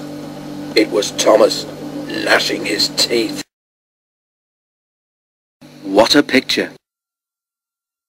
It took a long time to clean Thomas properly, and the twins kept teasing him until Edward told them to stop. A party of railway enthusiasts is coming soon, he said. I shan't bring them unless you behave. Bill and Ben were excited. Enthusiasts always made a fuss of them and took their photographs. When? they squeaked in unison. Edward smiled and winked at Thomas. Next week, he said, but not if you don't behave. Bill and Ben promised that they would. Is it next week? they asked Thomas each morning. Thomas enjoyed keeping the twins in suspense. Next week never comes, he would answer mysteriously. Bill and Ben went worried. They kept urging their crews to polish them. What's the hurry, they laughed. The enthusiasts aren't going to eat their breakfasts off you, you know. No, Bill whispered, but they might if we were Thomas. The twins thought this a huge joke. It was lucky that Edward and Thomas weren't there to hear it. At last the day came, and the drivers and firemen agreed to give the engines an extra polish. They were sparkling when Thomas arrived with the special train. Many of the enthusiasts had notebooks, and almost all had cameras. Bill and Ben didn't know which way to look, but they loved it. Then the visitors queued up for a ride in either Bill or Ben's cab. Their cabs were low and several visitors forgot to duck, but they didn't seem to mind. The enthusiast's visit was almost over when a shunter came running up. A ship needs moving before the tide goes down, he said. One of you see to it, please. Ben went at once, and most of the visitors went too, to watch.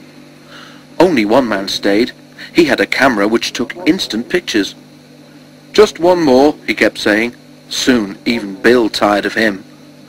The photographer screwed his camera to a tripod and pointed it at Bill. This is it, he chortled. What a picture. Ben's fireman ran up to them. Ben needs help, he said. The ship's going aground, and he can't move it on his own. Right, Bill, said his driver. We can't wait any longer. He turned a tap, and with a hiss and a roar, Bill vanished in a cloud of steam. At that moment, the photographer pressed the button. When the steam cleared, Bill was hurrying off to help his twin. The photographer peeled the cover from his instant picture, looked at it, and threw it down in disgust. Quickly, the engines were coupled together. When I say heave, heave, instructed Ben. One, two, three, heave! Come on, come on, puffed the engines. The cable tightened and stretched. At last, with a shudder, the ship slid off the mud and, towed by the engines, glided into deeper water. Bill's driver found the discarded photograph on the floor. All it showed was a cloud of steam with, very dimly, Bill's funnel at the top. He showed it to Bill. What a picture, remarked Bill, to no one in particular. Trevor helps out. Trevor, the traction engine, was feeling depressed. He couldn't breathe properly. Your boiler needs mending, said his owner, the vicar, but I can't afford it at present. One morning, the vicarage telephone rang. The vicar answered it and then hurried out to see Trevor. You may be a bit under the weather, but you can manage this, he said. The farmer has a tree down and wants you to saw it up for him. When Trevor had steam, they went to the farm and set to work in a field near the railway, trying to clear the fallen tree. Thomas passed by with Edward's coaches. He whistled cheerfully. Edward liked trucks and had been delighted to let Thomas have his coaches for a while. When Edward passed later that morning, he was pulling trucks with a sort of tent over them. These were specially for carrying china clay. The men called them hoods. Why hoods? Thomas had asked Bill and Ben. The hoods are those things like tents, explained Bill. They keep the clay dry, added Ben. Wet clay goes in tanks. But to Trevor, they were simply trucks. He was enjoying himself. The only thing he liked better than sawing logs was giving children rides. He chunted happily as the pile of logs beside him grew. Edward returned with some empty trucks. As he passed the place where Trevor was working, the line seemed to wobble under him. That feels like a loose rail, he thought. We'd better tell the maintenance people. At the harbour, Edward exchanged the empty trucks for full ones and set off for the junction again. Trevor dozed. The wind had dropped and it was comfortable in the autumn sunshine. It seemed no time at all before he heard Edward coming back. Trevor whistled a cheerful greeting. He was watching Edward and so did not see one of the trucks, six from the end, sink, jump and shudder just at the place Edward had felt a weakness in the line that morning. Sparks flew, a truck wheel jammed and with a crack a coupling broke. The last six trucks and the guard's van lurched, bumped, stopped. The guard, safe in his van, blew his whistle Edward, far in front, didn't hear it and hurried on without realizing what had happened. But Trevor was closer to the guard's van than Edward. He heard the whistle and looked back to see the trucks lying at strange angles on the track. Peep, peep, peep, peep, peep, peep, peep, peep, he whistled in horror. Stop, Edward, stop. Edward heard that. It's Trevor, he cried anxiously. What's wrong? We'd better stop and see, said his driver.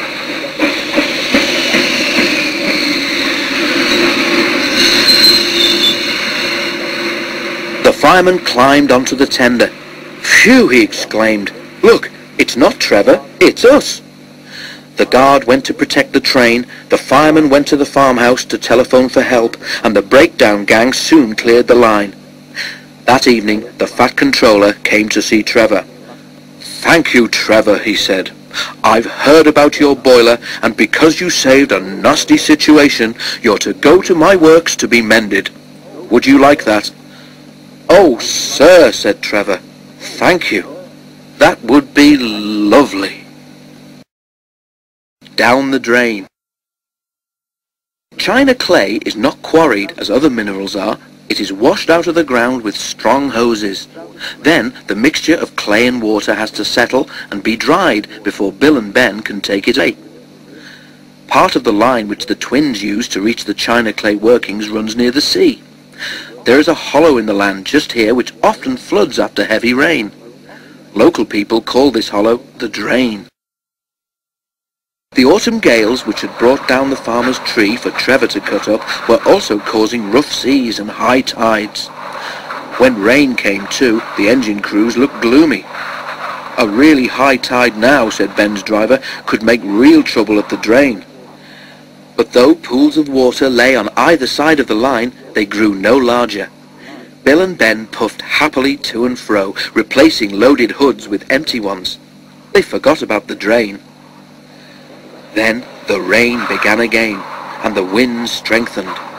As the engines went to the clay pits that morning, their drivers noticed that the water in the drain was rising. While Bill arranged the empty trucks, Ben prepared to leave with a train of full ones. At the drain, he found that the water was level with the top of the rails.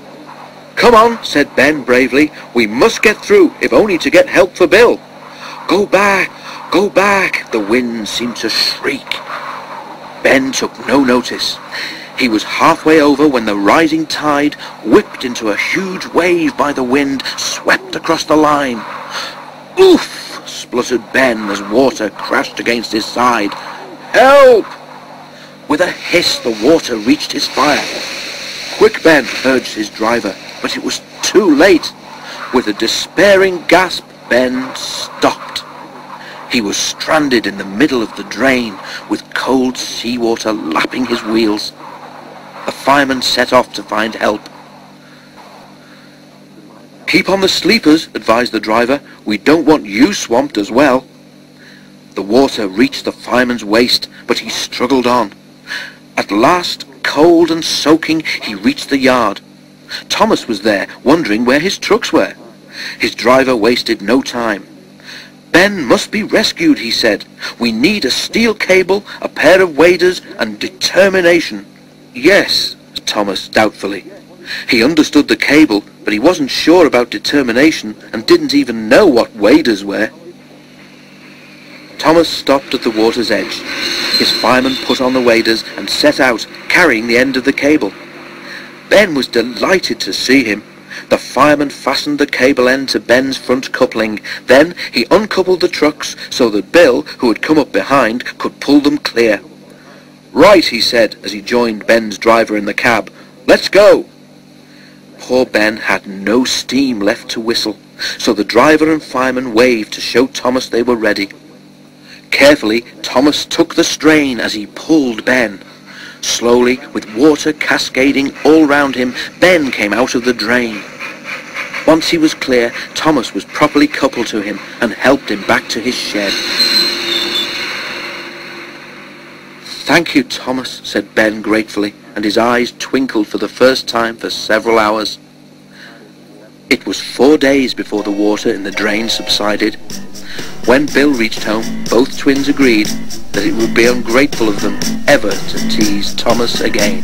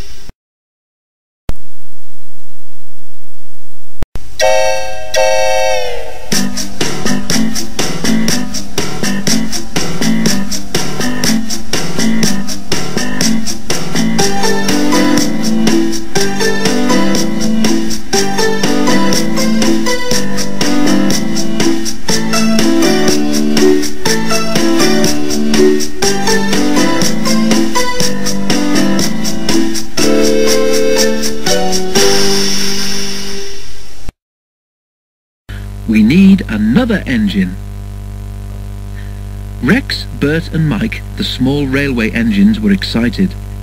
The thin clergyman had written a book about them, and today it was going to be published.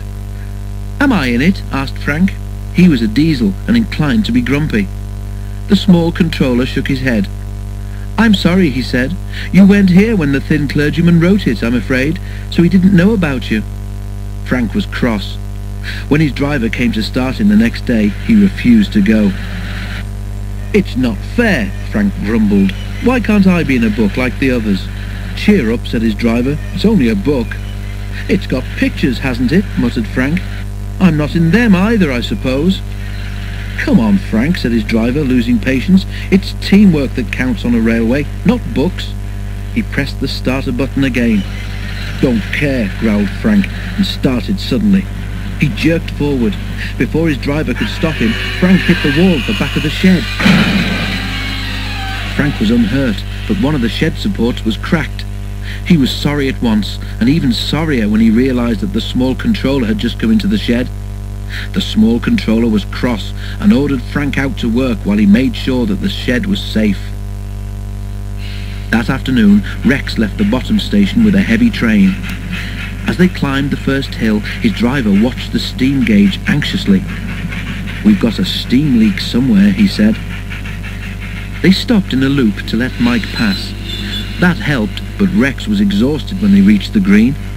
He hardly noticed Frank working in the siding. I think we can make it to the top, encouraged his driver. But they didn't. They had to stop in the next loop, and the driver switched on his radio telephone. Engines on the small railway are now fitted with radio telephones. Their drivers can talk to control, who can then make sure that the trains run safely. Rex has got a badly leaking steam pipe, reported the driver to control. We're all right on our own, but the train is too much for us. Can you help, please? We'll get you out somehow, said Control. Don't go away. Hm, very funny, muttered Rex. Chance will be a fine thing. Bert passed with a down train. Overworked, that's what we are, he sympathised. We need another engine. About ten minutes later, Rex heard a cheerful toot from behind, and Frank rumbled through the loop. Wonderful things, these radios, said Frank. Control says you need help. I'm to take the train and let you go home alone. Teamwork, my driver calls it. Frank ran ahead and Rex was uncoupled and backed into the loop. Frank reversed onto the train and when everything was ready, set off for the top station. Rex hurried home and his driver set to work to mend the broken steam pipe. The job took a long time. If only we had a spare engine, grumbled the driver. At the top station, Frank's driver apologized to the passengers for being late, but they didn't mind. You put things right very well, they said. We were expecting a walk home. The small controller was pleased too. Well done, Frank, he said. And the shed is not badly damaged either, so we'll say no more about it. But he was thoughtful as he went back to his office. Frank shouldn't have to do rescue acts, he said to himself. We do need another engine. Sticking power. The holiday season was drawing to a close. It had been a busy year and Bert was feeling unwell. Rex and Mike were unsympathetic. Poor old Bert, they said to each other. A shame he's out of puff. No stamina, these youngsters. What you need, Bert, Mike went on, is determination and sticking power. Sticking power be blowed. I might have known I'd get no sympathy from you two, grumbled Bert. I can't get my breath properly, Bert complained to his fitter. You need new tubes, the fitter said, but we can't spare you at present. Keep going and we'll give you a new set during the winter. He paused and looked over his shoulder. Keep it under your dome, he said quietly, but I did hear rumours about a new engine. We need one because if any of you three failed, we'd really be in trouble. He gave Bert's tubes a good clean. This helped a little, but Bert soon felt poorly again. Bert did his best, and one afternoon he reached the top station feeling very pleased with himself. His train was full, yet he had lost only a few minutes on the journey. His driver put him onto the turntable, and he ran eagerly round his coaches. That gives me time for a good breather before we go down again, he said to himself. He simmered happily as he waited for the guard to blow his whistle and wave his green flag. There was a hill near the station, and Bert knew that once he was over it, he could run home without losing time. The green flag waved at last. Come on, puffed Bert. Come on, come on, come... Oh! Suddenly there was a jerk, and everything seemed easy. Bert's driver looked back. Whoa, he groaned. Back we go. We've left our train behind. The guard met them. The tender coupling's broken, he said. We'll just have to stick around until someone can bring us a spare. Stick around, grumbled Bert crossly. I know what Rex and Mike will say about sticking. His driver looked at him. Hey, exclaimed. You've given me an idea. He disappeared into the station shop and returned carrying a small box. Glue, he explained. It's supposed to stick anything. Even trains, snorted Bert disbelievingly. His driver ignored him and set to work. Now I've heard everything, muttered Bert. Then an idea came to him, and he smiled. That'll stop their teasing, he said to himself. At last the job was done. There's no hurry, said Bert's driver. We'll take it steadily and make sure the passengers get home. The guard has told them what has happened, and they say they don't mind being late. The hill near the station was the difficult part. Gently, carefully, Bert eased the train over it. After that, though he took care, it was with growing confidence that he trundled the train home. The passengers all congratulated him and gave him three cheers. When Rex and Mike came into the shed that evening, they looked tired. Phew, remarked Mike. Thank goodness we're not as busy as that every day. Bert grinned. Sorry you're tired, he said brightly. I thought you older engines had sticking power. What you need is... And he told them about his adventure with the glue. So that's sticking power, he finished. Never mind. Some of us have it and some of us don't. Good night. And he went happily to sleep. Do you know what I think? asked Bert one evening, soon after the next season began. News to me that you could, said Mike cheekily. I suppose it would be, retorted Bert, never having done any thinking yourself. Rex chuckled, and he and Mike waited. Well, go on, prompted Mike at last. Aren't you going to impress us with your thoughts after all? He winked at Rex. Something, Bert announced after another pause, is going on in the workshop. Work? suggested Rex innocently. Bert took no notice. I think, went on Bert, that the men are building something. I was waiting at the platform yesterday, and the workshop door was open. I couldn't see much, but there was something on the floor inside. It looked like a boiler. Is that all? said Rex. He sounded disappointed. Probably a spare for one of us, said Mike. I don't think so, argued Bert. There were wheels as well. What I think, he paused dramatically, is that they're building a new engine. My fitter said he'd heard a rumour, added Bert. Three small engines looked hopefully at each other. About time too, said Rex. What's the new engine's name? Mike asked his driver the next morning. How did you know about the new engine? the driver asked. It's supposed to be a secret. They told him, and he laughed. I don't think the small controller has chosen a name yet, he said. When he does, I'll let you know. But a few weeks later, when the new engine came out of the workshop for tests, the small controller had still not decided on a name. How odd, remarked Mike, looking with interest at the new engine's square windows and square top dome. And what a funny colour, put in Rex. No, it's not, said Bert. I like it. The new engine smiled. So do I, he said. My driver says it will be different in the end. This is something he calls an undercoat. Douglas and Duck came to look too. Douglas had just brought some empty ballast trucks along the branch line. He and Duck watched with interest as the new engine was put to his paces. He puts me in mind of my days in Scotland, Douglas remarked. Some of the engines up in the Highlands were yon colour. Jocks, we used to call them. Jocks? asked the new engine, stopping nearby. Aye, agreed Douglas. No bad name for yourself, I'm thinking, eh, Jock? The small controller was delighted. Well done, Douglas, he said, and turned to the new engine. What do you think, he asked. It means you'd have to keep your colour, too, to give the name some point. Would you mind? Not a bit, sir, said the new engine. I like the colour, and the name would suit me fine. Excellent, said the small controller. That's settled then. Thank you, Douglas. A splendid idea. And Douglas puffed away, well satisfied with his morning's work.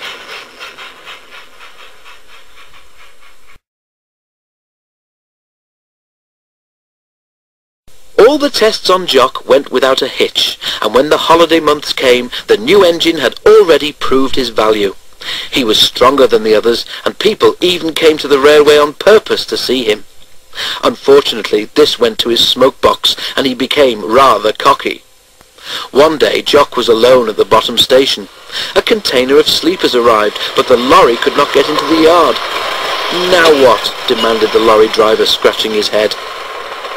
No problem, said the small controller. Just arrange the trailer astride the rails and leave it. Jock will do the rest. A cable was fastened between Jock's tender and the trailer, and, puffing hard, Jock pulled the trailer into the yard. Road or rail, what do I care? Jock boasted in the shed that night. The engines looked at each other in dismay. Next day, Mike was waiting at the platform to take a train up the line when he saw Jock backing down towards him. What's this? he asked as Jock was coupled on. I can manage. The small controller wants me to help, said Jock importantly. The party on the train has asked to see me specially. Oh, has it? said Mike. Well, make sure you don't leave me to push you as well as pull the train. That gave Mike an idea. He whispered to his driver, who grinned and nodded. We'll do it after the green, he said. So, when they restarted from the green, he gradually cut off steam. Now the whole weight of the train, with Mike as well, pulled on Jock's coupling.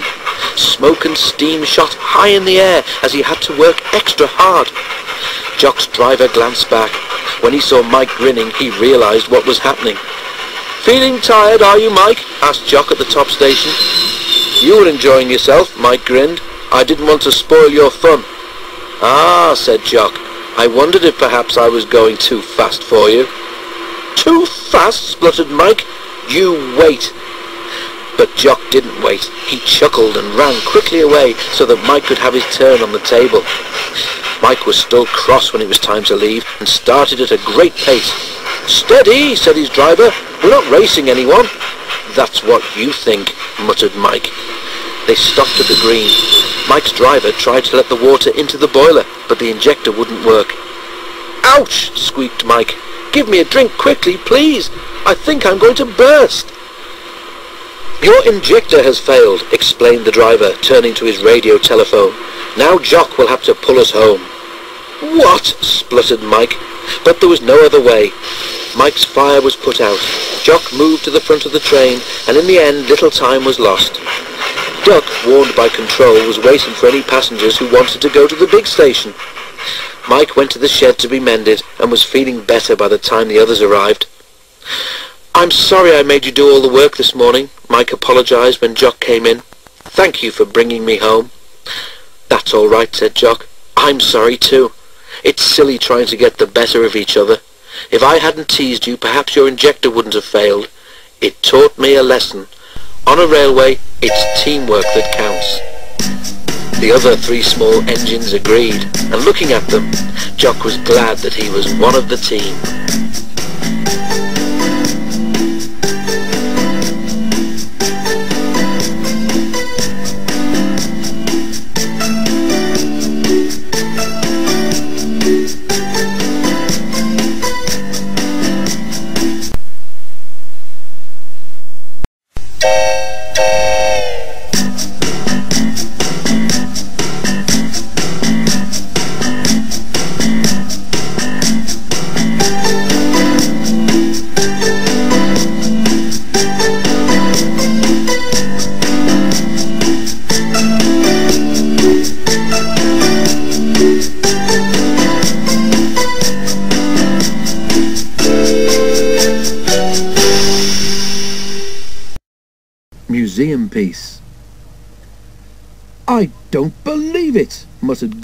Furiously. What's Thomas got that an important engine like me hasn't? Tell me that. Gallivanting off to museums. Bah! He is old, said James. If the Fat Controller says he can be a museum piece, why should we worry? It's not fair, though, grumbled Henry. For a chance like this, he wouldn't have minded being a museum piece himself. The jealous engines all ignored Thomas when they saw him at the junction. Thomas didn't care. He was too excited. Why me? Thomas asked Percy and Toby. Fancy the National Railway Museum people at, where is it, York, wanting me to go there? They've never even seen me. Yes, they have, said Percy. On television, added Toby. The Fat Controller told us about it. He and Percy wanted to go with Thomas, but they knew that someone had to stay and run the branch line while he was away. How much longer till we go? Thomas asked his driver every morning. One day less than when you asked before, laughed his driver. Anyone would think you wanted to be a museum piece. Thomas grinned. Gordon, Henry and James are just jealous, he chuckled. Who else is at this museum? Is Flying Scotsman there, or Duck's friend, City of Truro? We shall have to wait and see, said the fireman. I'll be very surprised if there isn't someone there that you can remember from the old days. And that, of course, made Thomas more excited than ever. At last the day came. A large crowd came to the junction to see Thomas off, and the Fat Controller was there too. Goodbye, Thomas, he said. Enjoy yourself and be a credit to our railway. Everyone gave three cheers and Thomas set off. They ran across the island and over the bridge leading to the other railway. It was a slow journey, but at last they reached a place Thomas's driver called Carnforth, where they rested for the night in a big shed. Next day they went on. At Skipton, Thomas stopped for a drink and to let a goods train overtake him. While they waited, it began to rain. In a signal box a little way ahead, the signalman opened his level crossing gates for Thomas and set his signals to clear. Suddenly, he heard a crack and then a rattle from the level crossing. The lock on a gate had broken and the wind was swinging the gate across the rails. Steam appeared above the trees as Thomas drew near. Wow! exclaimed the signalman, and quickly resetting the signal to danger, he ran to mend the gate. Thomas had never felt happier. His fire was bright, and even the rain didn't depress him. They neared a signal. Its arm was up, showing that the line ahead was clear. Away we go, away we go, puffed Thomas happily. He was just passing the signal when he heard a clang as the signal arm fell to danger. Whoa, Thomas, cried the driver and put the brakes hard on. What?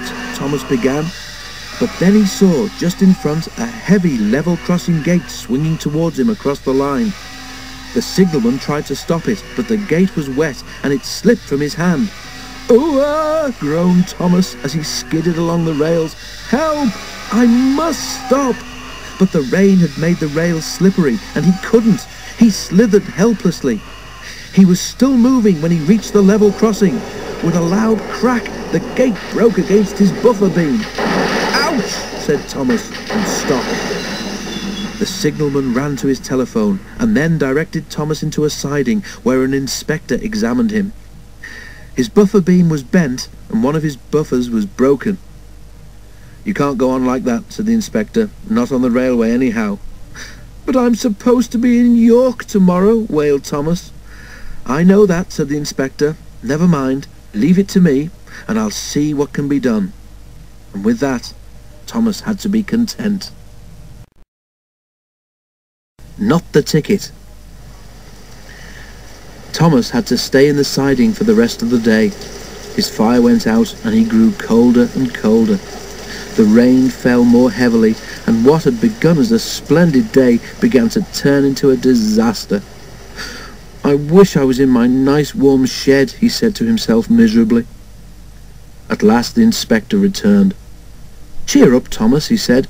You'll be at the museum tomorrow, and they have promised to mend your front end in their workshop. Thank you, sir, said Thomas. But if I can't run on rails, how can I get there? It's all fixed, replied the inspector cheerfully. A lorry is coming for you in the morning. Thomas was horrified. A lorry? he stammered. That's right, said the inspector. It'll be here at eight o'clock sharp. Thomas slept badly that night. He kept wondering what Gordon, Henry and James would say if they knew he had finished his journey on a lorry. He almost thought he could hear them laughing. Next morning, the driver and fireman came early. A diesel shunter came to push Thomas out of his siding and along towards the road, where they found the lorry waiting. A steel cable was fastened to his coupling. The lorry driver started a winch, and in no time at all, it seemed, Thomas was perched on the lorry. How undignified, he thought. But he found, as they went along, that he had a marvellous view of the countryside, and time to enjoy it too. But Thomas soon began to feel bored. At last houses began to appear on either side of the road. Perhaps this is York, thought Thomas hopefully. It was, but the driver was unsure of his way. He parked the lorry and went to find a telephone. A man wearing a flat-topped cap with a yellow band round it came up to Thomas. Hello, said Thomas. Hm, said the man. He wrote something in his notebook and went round to the front of the lorry. When the lorry driver came back, Thomas heard him say something, then slam the cab door crossly. Soon they reached a large building with rails running into it. Thomas was unloaded and the lorry drove away. Thomas looked about him. He had arrived. When his driver and fireman came, Thomas told them about the man with the flat cap. They laughed loudly. How do you do it, Thomas? spluttered the driver when he could speak. that will make the Fat Controller's day. Thomas booked for parking. Trouble on the line. The museum people were as good as their word. Thomas went at once into the workshop where his buffer beam was soon straightened and a new buffer bolted on. In the workshop was a green engine like Flying Scotsman, but smaller. He was called Green Arrow. My brothers and I were built to run fast goods trains, he said, but we did it so well that they let us pull expresses too in the end. Now I'm the only one of my sort left. Green Arrow was so friendly that when Thomas was mended, he was sorry to leave him. But back at the great railway show, he was thrilled to see instead one of Stepney's brothers, Box Hill, an engine he remembered from the old days. Thomas was moved to a special position. There's no doubt about it, said his driver. You're a star attraction.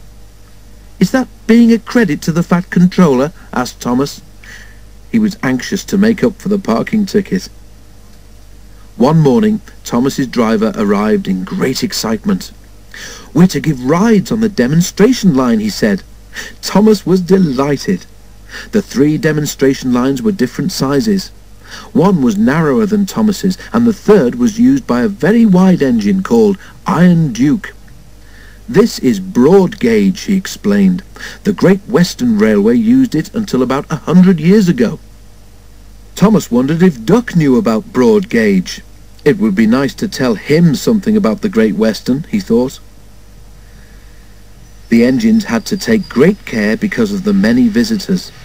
Thomas was anxious. Some people were not as careful as they should have been. Thomas had never seen such crowds. We must watch out, he told his driver. What would happen if a child got onto the line? Don't you worry, Thomas, replied the driver. There are plenty of good, strong barriers, and we'll take care. But Thomas did worry. He was afraid that in an emergency he might not be able to stop soon enough. Next morning, Thomas felt better. The sun was shining, and he was looking forward to talking to Iron Duke again. He chuntered happily backwards and forwards along the demonstration line all day. Then, nearly at closing time, it happened. Thomas saw something fly through the air and land on the rails in front of him. His driver saw it too. He put the brakes hard on. Beep, beep, beep, beep, whistled Thomas in alarm. I must stop, I must. Thomas shuddered to a halt, and a great cloud of steam wheeshed noisily from his cylinder cocks. But he couldn't stop before he hit the bundle. It burst. Sandwiches and crisps flew in all directions, while pop from a broken bottle fizzed over Thomas's wheels. In the crowd, a child, frightened by the steam, cried loudly, I want to go home, Mummy, now! screamed the child. You noisy great engine, shouted his mother, waving her fist at Thomas. I'm going to see the manager. Oh dear, thought Thomas. That's not the way to be a credit to the Fat Controller. You did very well, comforted his driver. Thank goodness it was only a lunch pack and not a child on the line. The fireman was inspecting Thomas.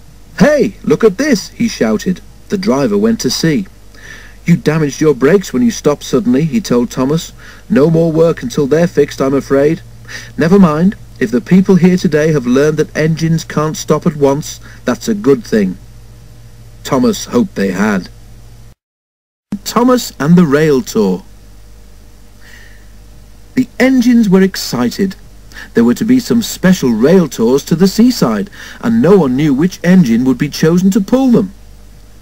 It ought to be me, observed Mallard. After all, that seaside place helped to pay for my repairs. The others thought someone else should have a chance.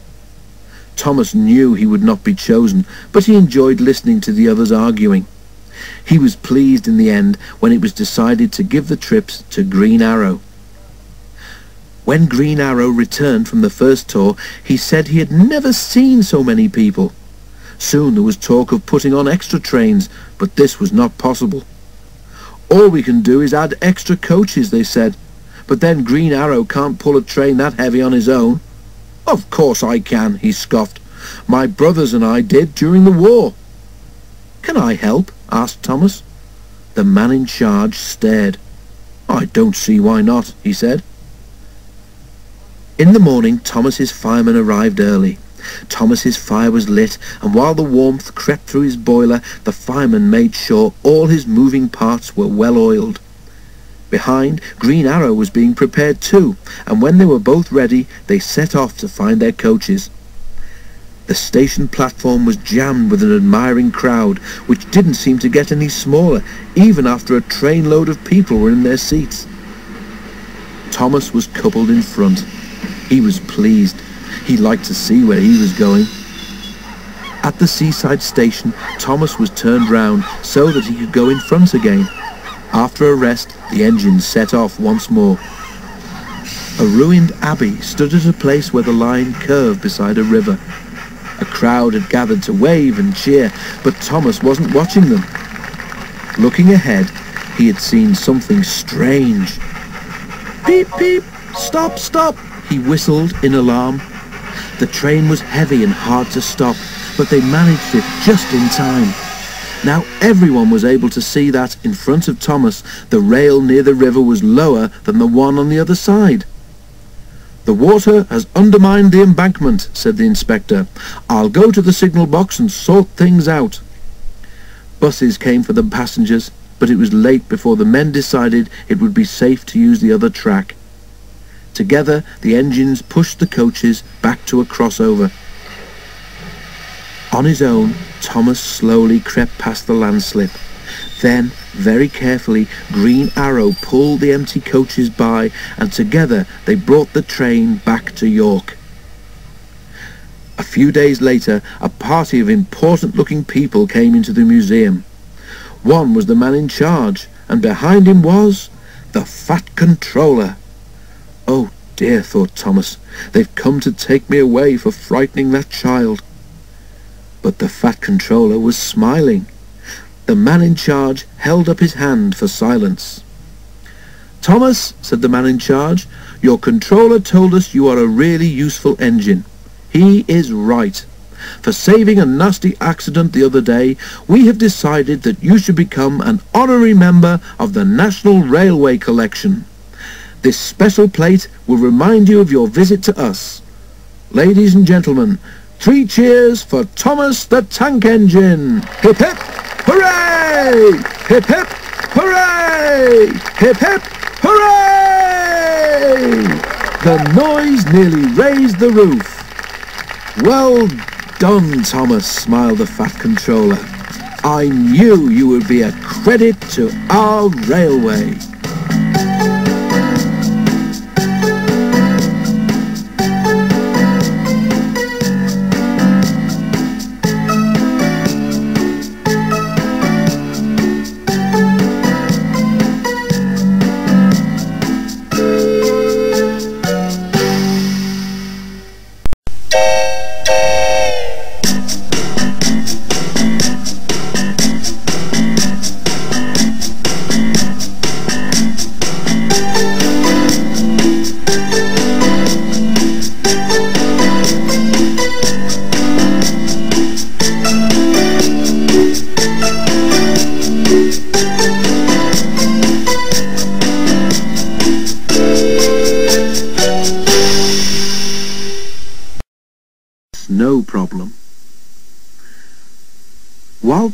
Was away at York, Percy looked after Annie and Clarabel and took most of Thomas's trains. Daisy ran the fast one, which connected with Gordon's Express at the junction.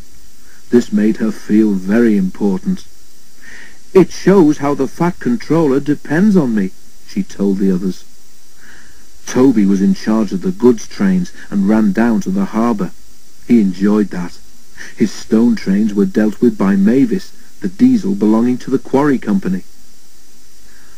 One day, snow on the other railway had delayed the train from London, so Gordon's Express was late too. While Daisy was waiting for him at the junction, the blizzard spread across Sodor. Huge white flakes whirled all round, and her driver was worried. Daisy wasn't. What fun, she said to herself. The other engines don't like snow, but I think it's pretty. And I've got the rails to guide me, so it won't give me any trouble. Her driver was not so confident. Daisy hasn't got the weight that a steam engine has, the driver told the guard. She can't push her way through, and we all know how Thomas got stuck, don't we? He's told us often enough, laughed the guard. At last Gordon arrived, complaining about engines who were frightened of a bit of snow.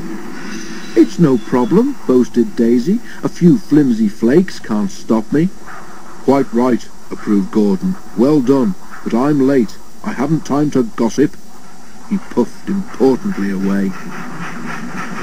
Daisy started confidently, but as they turned towards the valley, the sky darkened and then was completely blotted out by whirling snowflakes.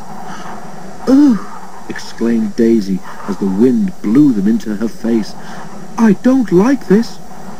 Neither do I, said her driver. I can't see where we're going. They stopped at the next signal box and Daisy's driver went to talk to the signalman. He came back looking glum.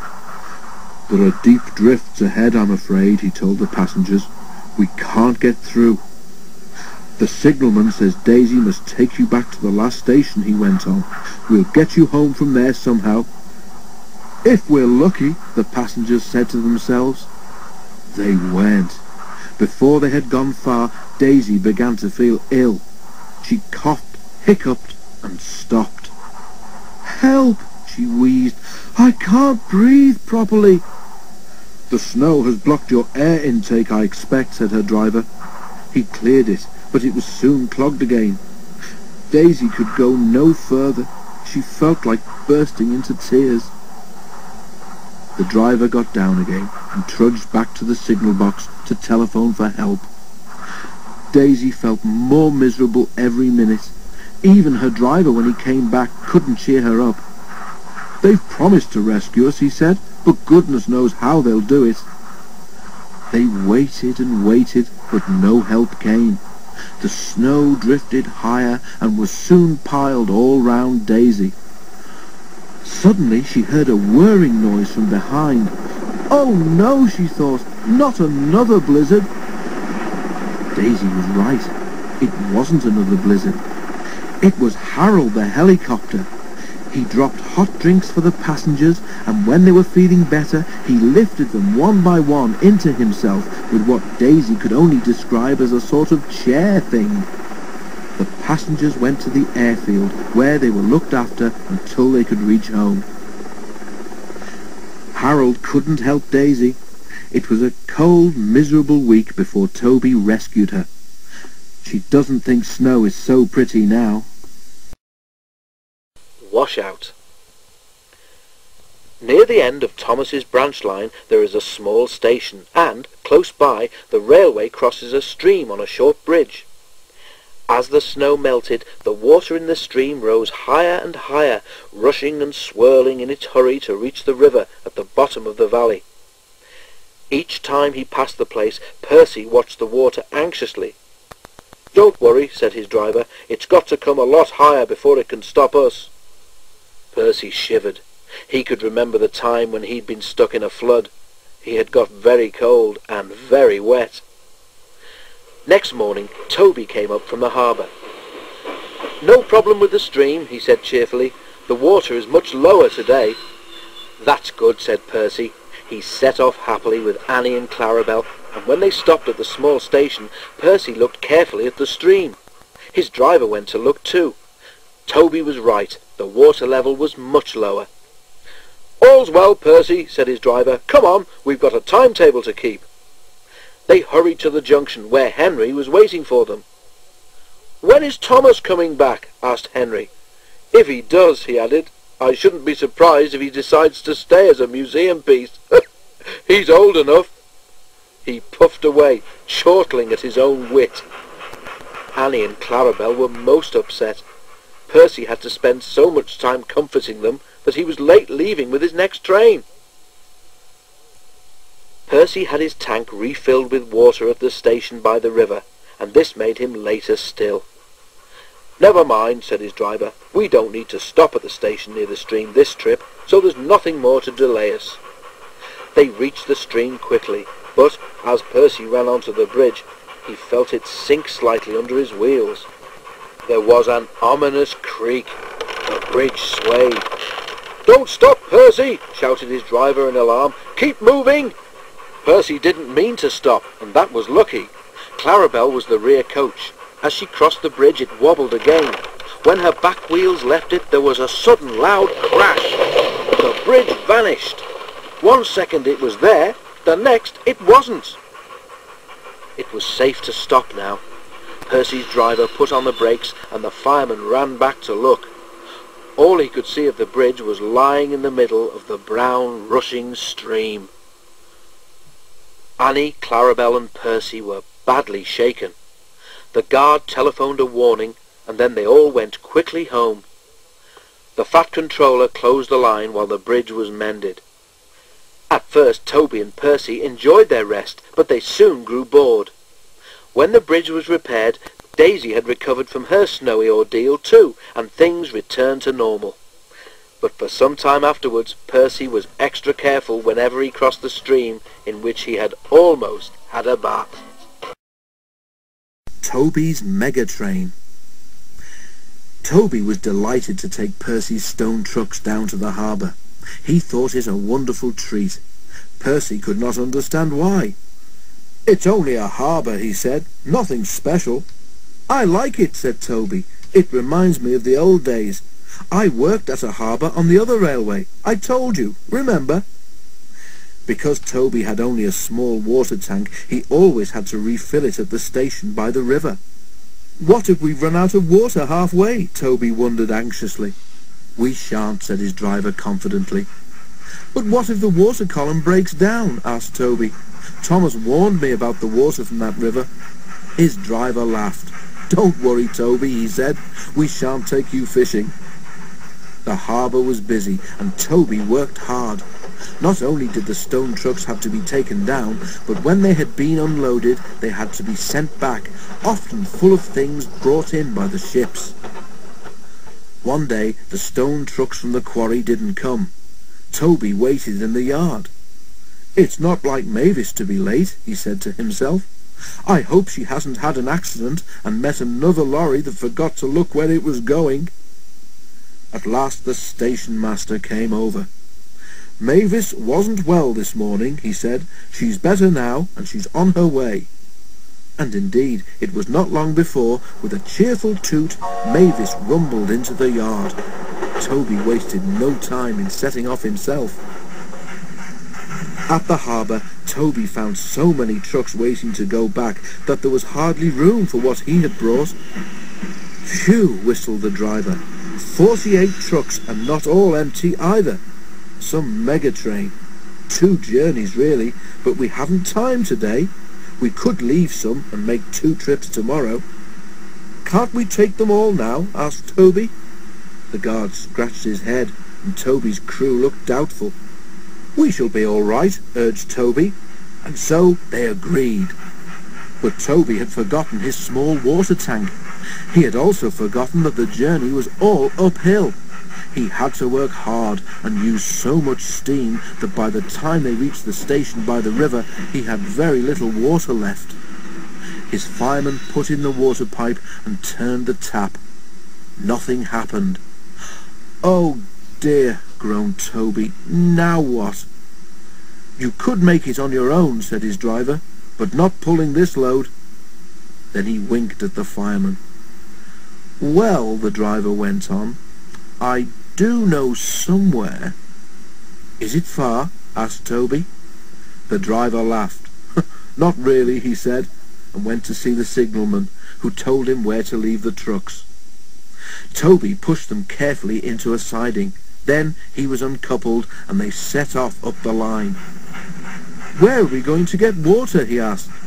You'll see, smiled his driver, and stopped Toby right in the middle of the river bridge. Now, said the driver, where's my bucket? Oh, protested Toby, you promised. His driver and fireman laughed heartily. We're only pulling your wheels, Toby, they said at last. We'll go to the top station for water, then come back for the trucks. When Toby told Percy what had happened, Percy wanted to help, but his driver reminded him that he had a train of his own to run in a few minutes. Don't worry, said Toby. I'll follow you down and have those trucks back up here in a jiffy. And he did too.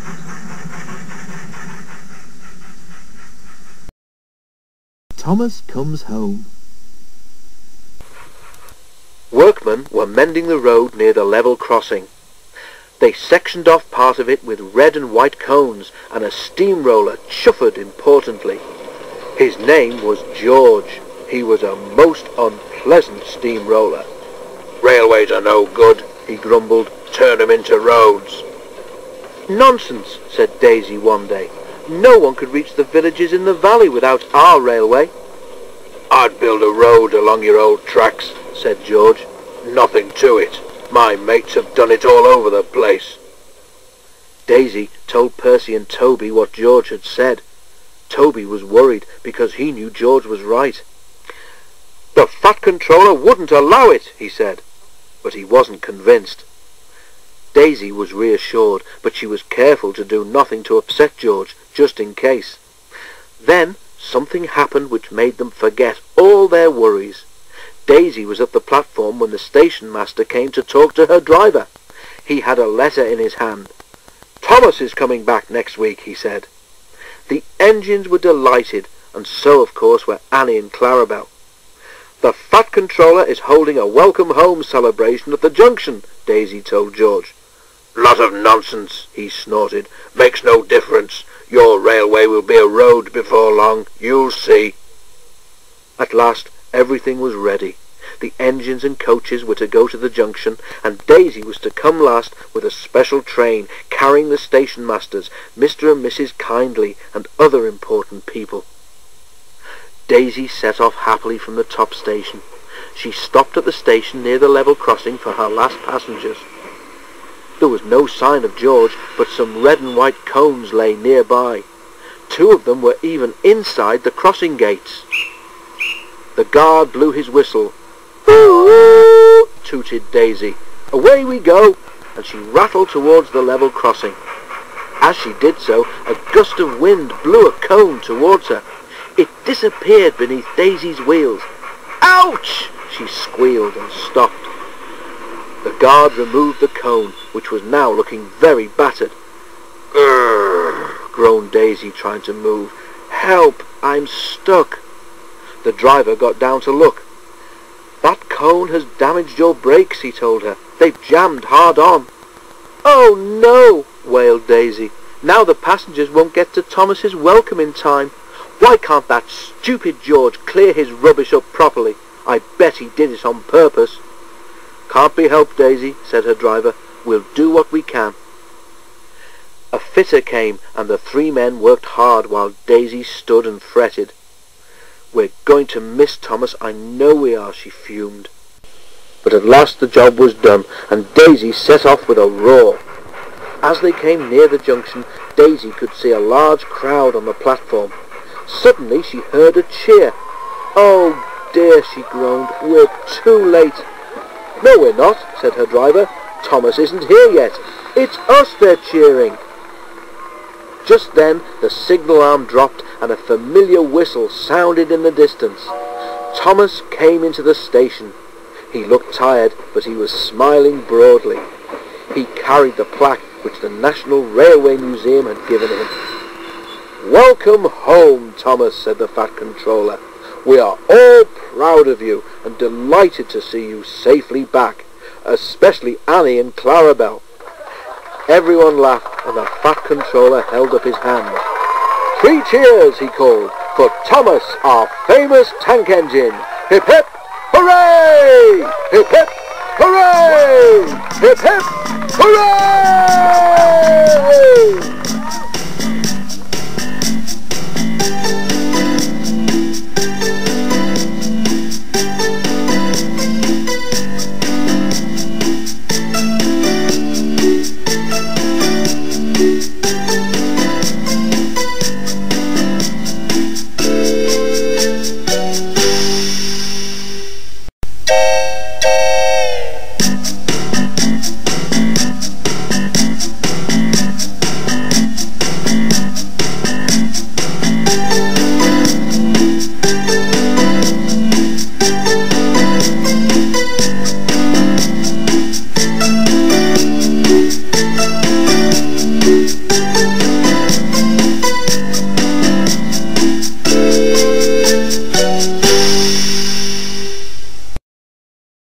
Out of puff. The Express is a long, heavy train. Gordon usually pulls it, but only as far as the other railway. Another engine takes the coaches from there to London. It is an important train too, and must always run whatever happens. If Gordon is ill or busy somewhere else, James or Henry have the chance to pull it.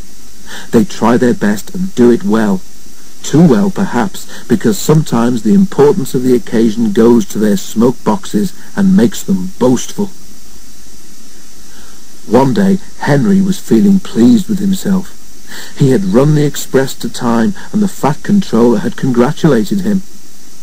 I don't know what the Fat Controller would do without me, he said importantly in the shed that evening.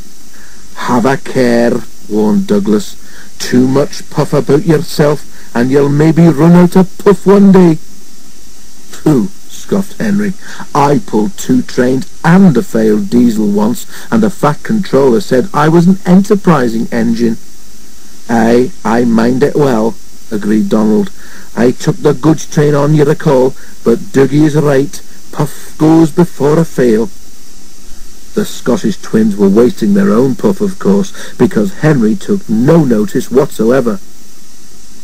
A little later, the railway had to begin using a new sort of coal. It was dusty and burned with clouds of thick black smoke. The Fat Controller was cross, and the engines didn't like it either. Filthy rubbish, they grumbled. The new coal made more ash, too. Before long, all the engines began to have pains in their smoke boxes. Hot ash collected there and gave them the most awful indigestion. One evening, Henry felt dreadful when he got back to the shed.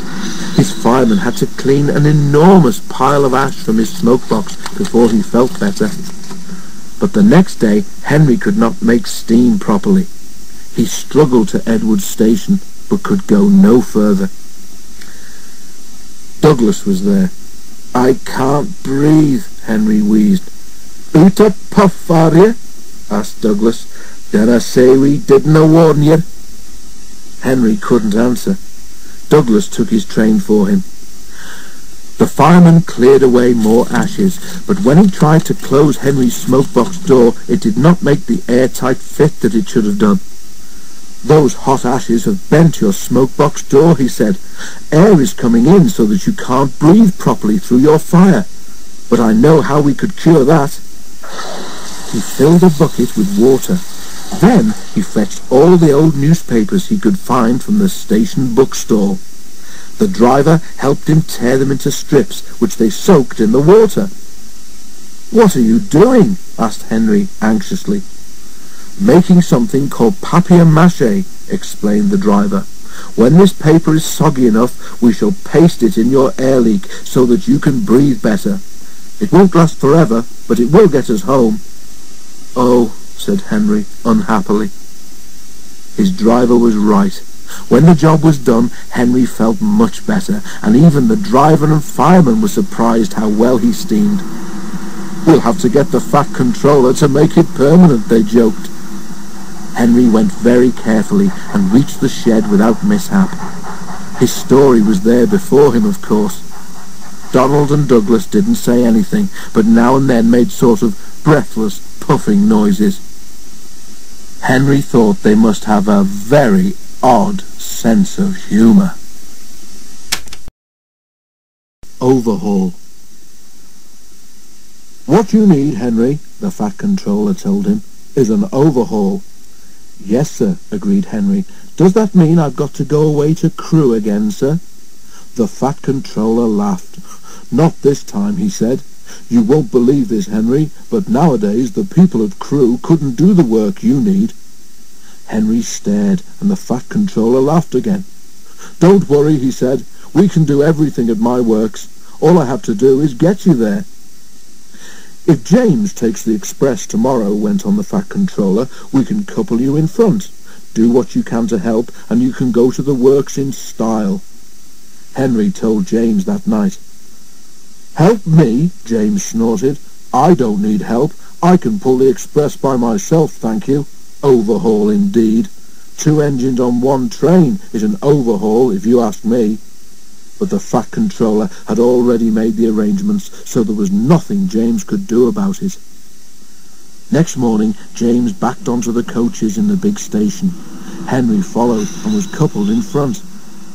James was not in the best of tempers, but when the Fat Controller came to see them off, James tried not to show how cross he was.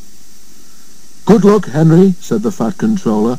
The people at the works know what to do, so you won't be there too long. James and Bear will take turns with the express when Gordon is busy. The express only stops once before it reaches the other railway, and that is at the works station. Because of his leaky smoke box, Henry could not help very much, but he saved his hardest effort for Gordon's Hill. The two engines raced up it faster than they'd ever done. When they reached the top, James was feeling better. That was fun, he said. We might even be early at the workstation. We shall need extra time to uncouple you anyway. James spoke too soon. They had just crossed the viaduct when Henry felt something wrong with one of his wheels. Something's wobbling, he told his driver. Just then they both heard a cracking noise. Ouch! exclaimed Henry. Whatever it is, I think it's broken. They were passing a station. Something hit the platform and a brick flew past Henry's cab. It bounced off James's boiler and disappeared. Ow! exclaimed James. Henry might need mending, but he needn't throw his broken bits at me. Just then, James and his driver heard Henry whistling to warn them that he wanted to stop. More bits and pieces flashed by, some hitting the carriages. Using the brakes skillfully, the drivers stopped the train. Then, while the guard made sure that the train was protected behind, James's driver went to see if any passengers had been hurt by the flying debris. No one had, but one of the carriage windows was broken. Henry's crew inspected his wheel. The trouble was not hard to find. Your wheel has a steel rim called a tyre, Henry's fireman told him. It has broken and come off. It's a miracle it didn't do more damage. James pushed Henry into a siding and went back to the train. An overhaul, is it? grinned James as he passed. It sounds as if you need retiring, you poor old thing. He guffawed loudly at his own wit and puffed away. Henry smiled to himself. I don't know about retiring, he chuckled. I certainly feel tired. Sliding scales. Because Henry was at the works, the other engines had to help with the flying kipper too. This is a special train of vans filled with boxes of fish which goes to markets in London and other places on the mainland. James did not like the flying kipper. All those smelly vans, he complained one morning. You can't get the smell off your tender for weeks. I'm very fond of a good kipper, remarked his driver. You're welcome to it, retorted James. A right old misery today, aren't you? said his fireman. You got out of the shed by the wrong door this morning, and no mistake. Now get a move on, or the Fat Controller will give you something to moan about. Groaning horribly on the curves, James went slowly down to the harbour. The vans for the train were already in the shed, while men in aprons worked busily, loading them with boxes of fish. Pooh, said James, wrinkling his nose. James was coupled to the vans. He had not been waiting long when a forklift truck laden with fish boxes rounded the corner and came towards him. Another, hurrying away for a new load, came too fast in the opposite direction. The loaded one swerved to avoid the other one, and its heavy load shifted. Six full boxes slipped from the top of the pile and burst open on the rails in front of James. James closed his eyes in horror. Ugh! He shuddered. Broken fish and boxes lay everywhere. For once, James was right. The smell was not nice. Luckily, there was plenty of time for the men to clear up the mess before James had to leave. A good job the boxes didn't fall on you, James, said his driver, winking at the fireman. James shuddered again. The idea was too awful to think about. At last, all was ready, and the guard showed his green lamp. Thank goodness, said James to himself. There was a speed limit in the harbour area, so James could not start quickly. The train seemed heavier than usual tonight too, so that when he reached the spot where the fish boxes had burst, he was moving at no more than walking pace. The rails seemed clean, but oil and scales from the spilt fish were still there, coating them with a slippery film. As soon as James reached the place, his driving wheels, with nothing to grip, began to spin helplessly. James did his best, but the heavy vans dragged him to a standstill. He found he could move neither forward nor back. Fish! exclaimed James in disgust. Men brought hoses and washed the rails. James grew very wet and uncomfortable. Then they put sand on the rails in front of each driving wheel, and James was at last able to move his train. He was very late, but at least he was off the fish quay. To say he was glad would be putting it mildly. Henry Sees Red Henry found life boring at the works. The men worked hard to make him better, but it seemed ages before he was ready. At last, however, when he had passed the test to make sure he was mended properly, men came to repaint him. But Henry saw that instead of nice green paint, they had something very different in their paint pots. That's not right, protested Henry. The Fat Controller wants me to be green with red stripes, not red all over like... like tomato sauce. The painters laughed. You'd look very handsome, Henry, they said, but don't worry, this paint is a special sort of undercoat. You shall have proper green with red stripes before we've finished. Undercoat, muttered Henry in disgust. Whatever would the other engines say if they saw me looking like this? The men laughed and carried on painting. Early next morning his driver came. Wake up, Henry, he said. There's an emergency at the big station, and the Fat Controller says you're to help. But I can't go like this, exclaimed Henry. They'd all laugh like anything. No choice, said his driver. The diesel pulling the express has failed, and the Fat Controller needs you to take over. It's either us or a long walk for the passengers, and you know the Fat Controller wouldn't like that. The fireman raised steam as quickly as he could, and Henry, blushing with embarrassment, set off for the big station. The Fat Controller was pleased to see him. I feel so silly looking like this, complained Henry. The Fat Controller laughed. You do look unusual, Henry, he agreed, but you have helped me out of a very awkward situation, so don't worry about it. But Henry did worry. Soon, too soon for Henry, it was time to start. The express was heavy, and Henry felt the drag of the coaches. We'll need help on Gordon's Hill today, remarked his driver. But they were in trouble earlier than that. As they approached Edward Station, the brakes went wrong on the last coach of the train and they had to stop and uncouple it. To make matters worse, Donald, who should have been there to help, had been called away.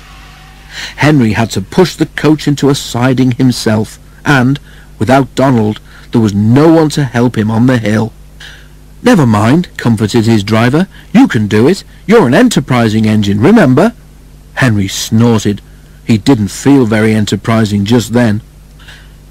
The men at the works had mended Henry well. His driver gave him as good a start as he could. It was hard going, but now Henry felt fired with determination. Let them laugh at my red paint, he snorted. I'll show them. Slowly he struggled upwards. I can do it! I can do it! I can do it! He panted. Oh dear, will the top never come? Then, suddenly, there it was. I've done it! I've done it! I've done it! He puffed proudly. After that, it was much easier, and they reached the other railway quickly. The fat controller, who had been on the train, came to congratulate Henry. Well done, Henry, he said. I'm very proud of you. Perhaps all my engines should be painted red, but you have certainly earned your proper green with red stripes, which of course is just what Henry got. And when he at last returned to the shed, there was a warm welcome for Henry the Green Engine.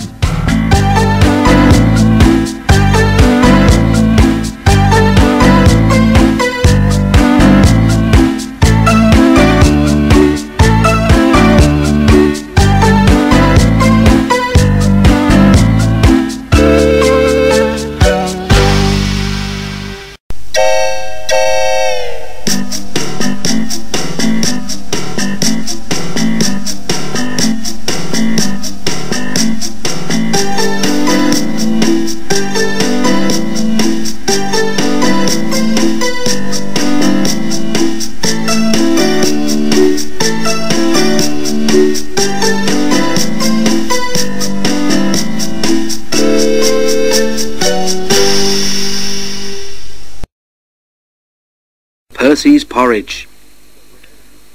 Donald and Douglas were rushed off their wheels. The fat controller came to see them. I know you don't mind hard work, he said, but you can't be everywhere at once. You need some help on the branch lines. The Scottish twins were grateful. I have a plan, the fat controller told them. He went to see a friend who lived in Gloucestershire and explained the problem.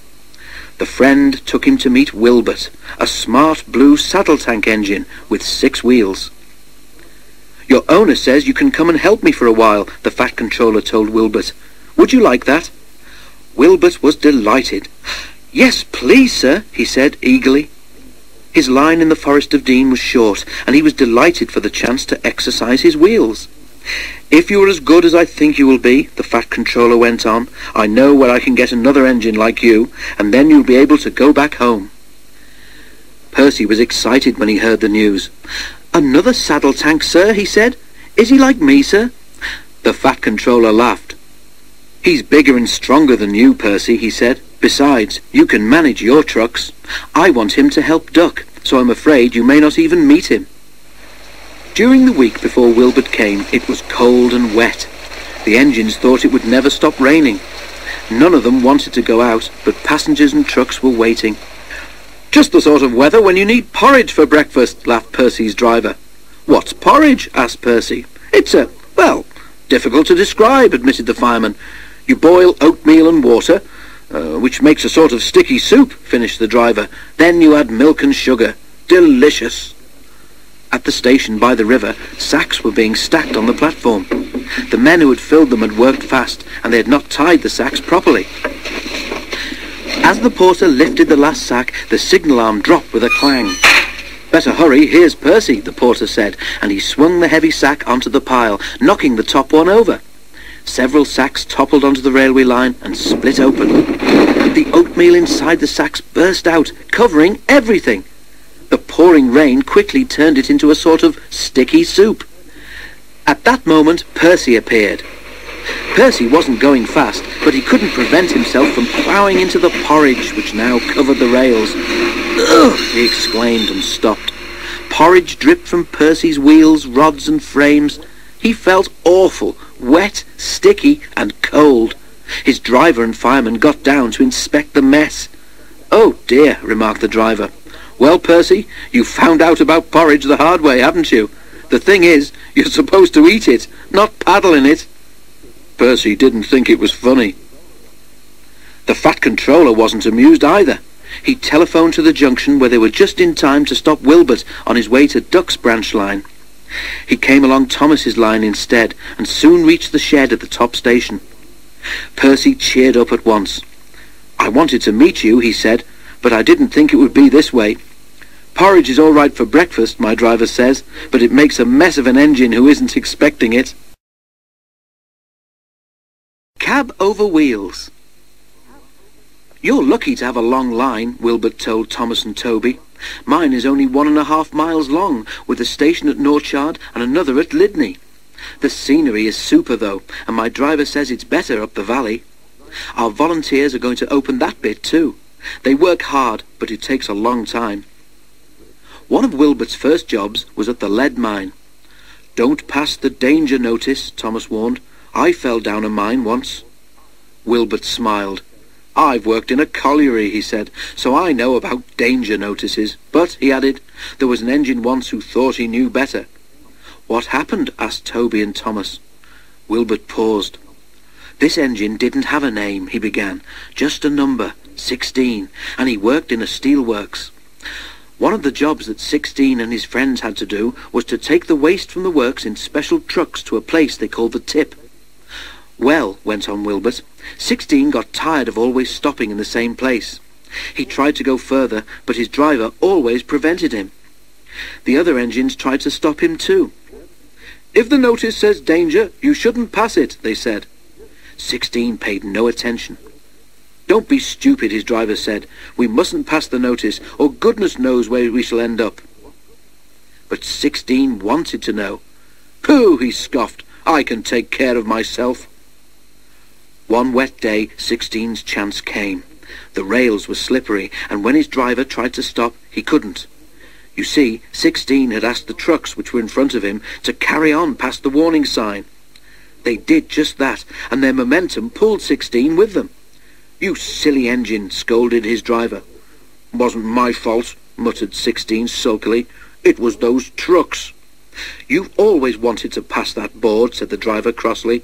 I believe you asked them to drag us on purpose. A foreman ran towards them. What are you doing there, driver? he shouted. It's not safe. The trucks dragged us, explained the driver. Well, come to the office with me, and you, fireman, get your engine back on firm ground before it's too late, ordered the foreman. But it was already too late. As the foreman turned away, the earth beneath 16's wheels sank and the rails sagged. A small rush of stones clattered away to the bottom of the bank. 16's fireman knew that if he tried to move the engine now, he would only make things worse. Ooh, uh, groaned 16. Beneath his weight, the rails sagged even more.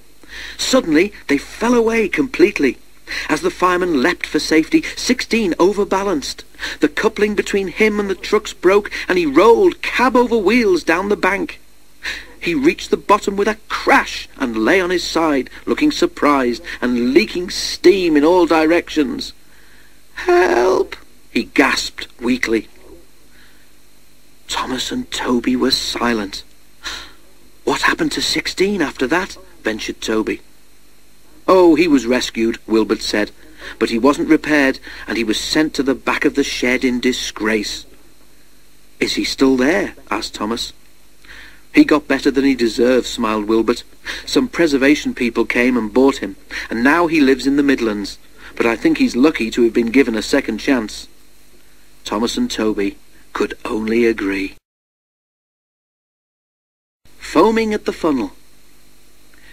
There is a dairy beside Thomas's branch line at the station where the lines divide to go either to the harbour or to the junction.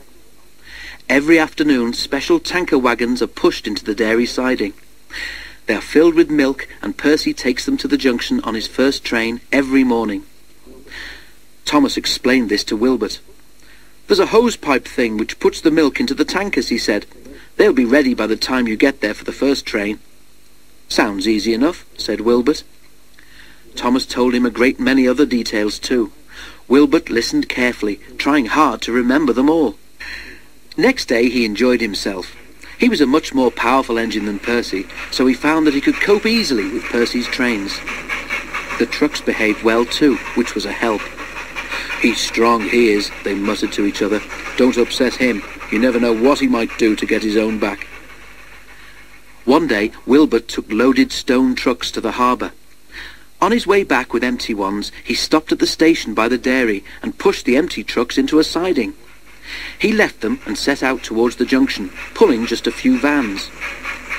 Right, he thought happily, I leave these vans at the junction and bring the empty tankers back. Then, when those are put in the dairy siding, I take the stone trucks onto the top station. They met James at the junction. James knew who Wilbert was, of course, and asked how he was getting on.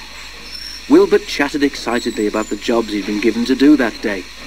Sounds as if you're enjoying yourself, James said, but it's best to take things slowly at first, and he puffed away.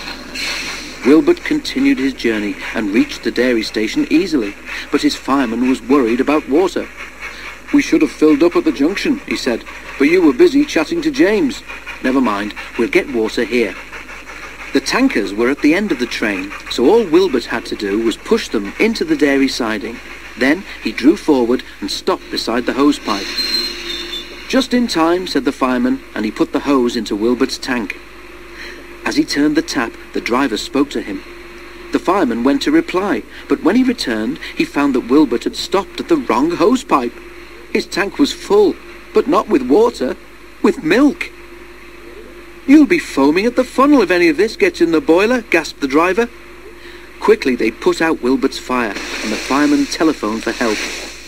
Thomas came as soon as he could and pulled Wilbert back to the top station. Wilbert's tank was emptied and was given a thorough clean. Next morning he was quite all right again. You and Percy make a fine pair, laughed Thomas. He had the porridge and you had the milk. Wired up.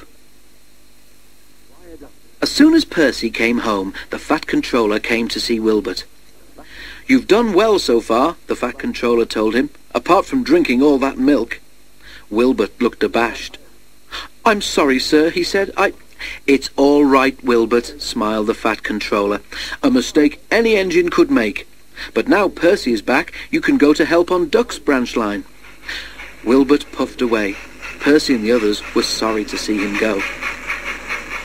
Duck and Oliver made Wilbert very welcome. Duck let him travel in front of his next train so that he could see what the line was like. Wilbert enjoyed this, but found running beside the sea very different from his sheltered valley in Gloucestershire. Next day he began regular work. During the afternoon he took some ballast wagons to the loading dock beside the small railway. Rex, Bert, Mike and Jock were delighted to show off their station to a new engine. Like the other trucks, those on Duck's line decided that they had better behave too. Donald and Douglas had kept them all in order, but Wilbert made sure they didn't forget what the twins had taught them. One day, Wilbert was at the ballast loader. As he tried to pull some full trucks away, there was a loud crack, and he shot suddenly backwards. The fireman got down to look. The coupling gear on the wagon has pulled away, he said. Now what? Beside them, watching with interest, was Bert. I pulled a train which was glued together once, when one of my couplings broke, he said. We need more than glue here, said Wilbert's driver. Then he noticed a coil of signal wire lying beside the line. Could we do anything with that? he asked. You'd never move the train with wire, objected the fireman. But what about just one truck, suggested Wilbert. I bet I could pull one truck with wire. Brilliant, said the station master, who'd come to see what was wrong. I'll go and tell the signalman what you're doing. Let me know when you're ready. The fireman wound the wire round the truck's buffer beam, leaving long loops. These he twisted into a rope, making a small loop at the end, which he fastened to Wilbert's coupling hook. A shunter uncoupled the front truck from the rest, and at last everything was ready. Right, Wilbert, said his driver. Gently now. He opened the regulator very carefully, easing Wilbert slowly backwards. The wire tightened, stretched, and held.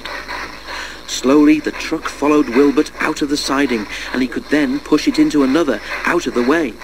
Then he went back to his ballast train. This time there was no trouble, and he reached the big station late but safely. By the end of his stay, the Fat Controller knew that an engine like Wilbert was exactly what he needed. I am delighted, Wilbert, said the Fat Controller. Please take our best wishes to your friends in the Forest of Dean. We hope your line there will be as successful as your work here. Thomas, Percy, Toby and Daisy came to the junction to see Wilbert off and whistled cheerfully as he passed. Beep beep, called Wilbert. I've had a wonderful time, but I'm looking forward to getting home. Goodbye. Thank you. And with a whistle, he rounded the curve and disappeared into the tunnel.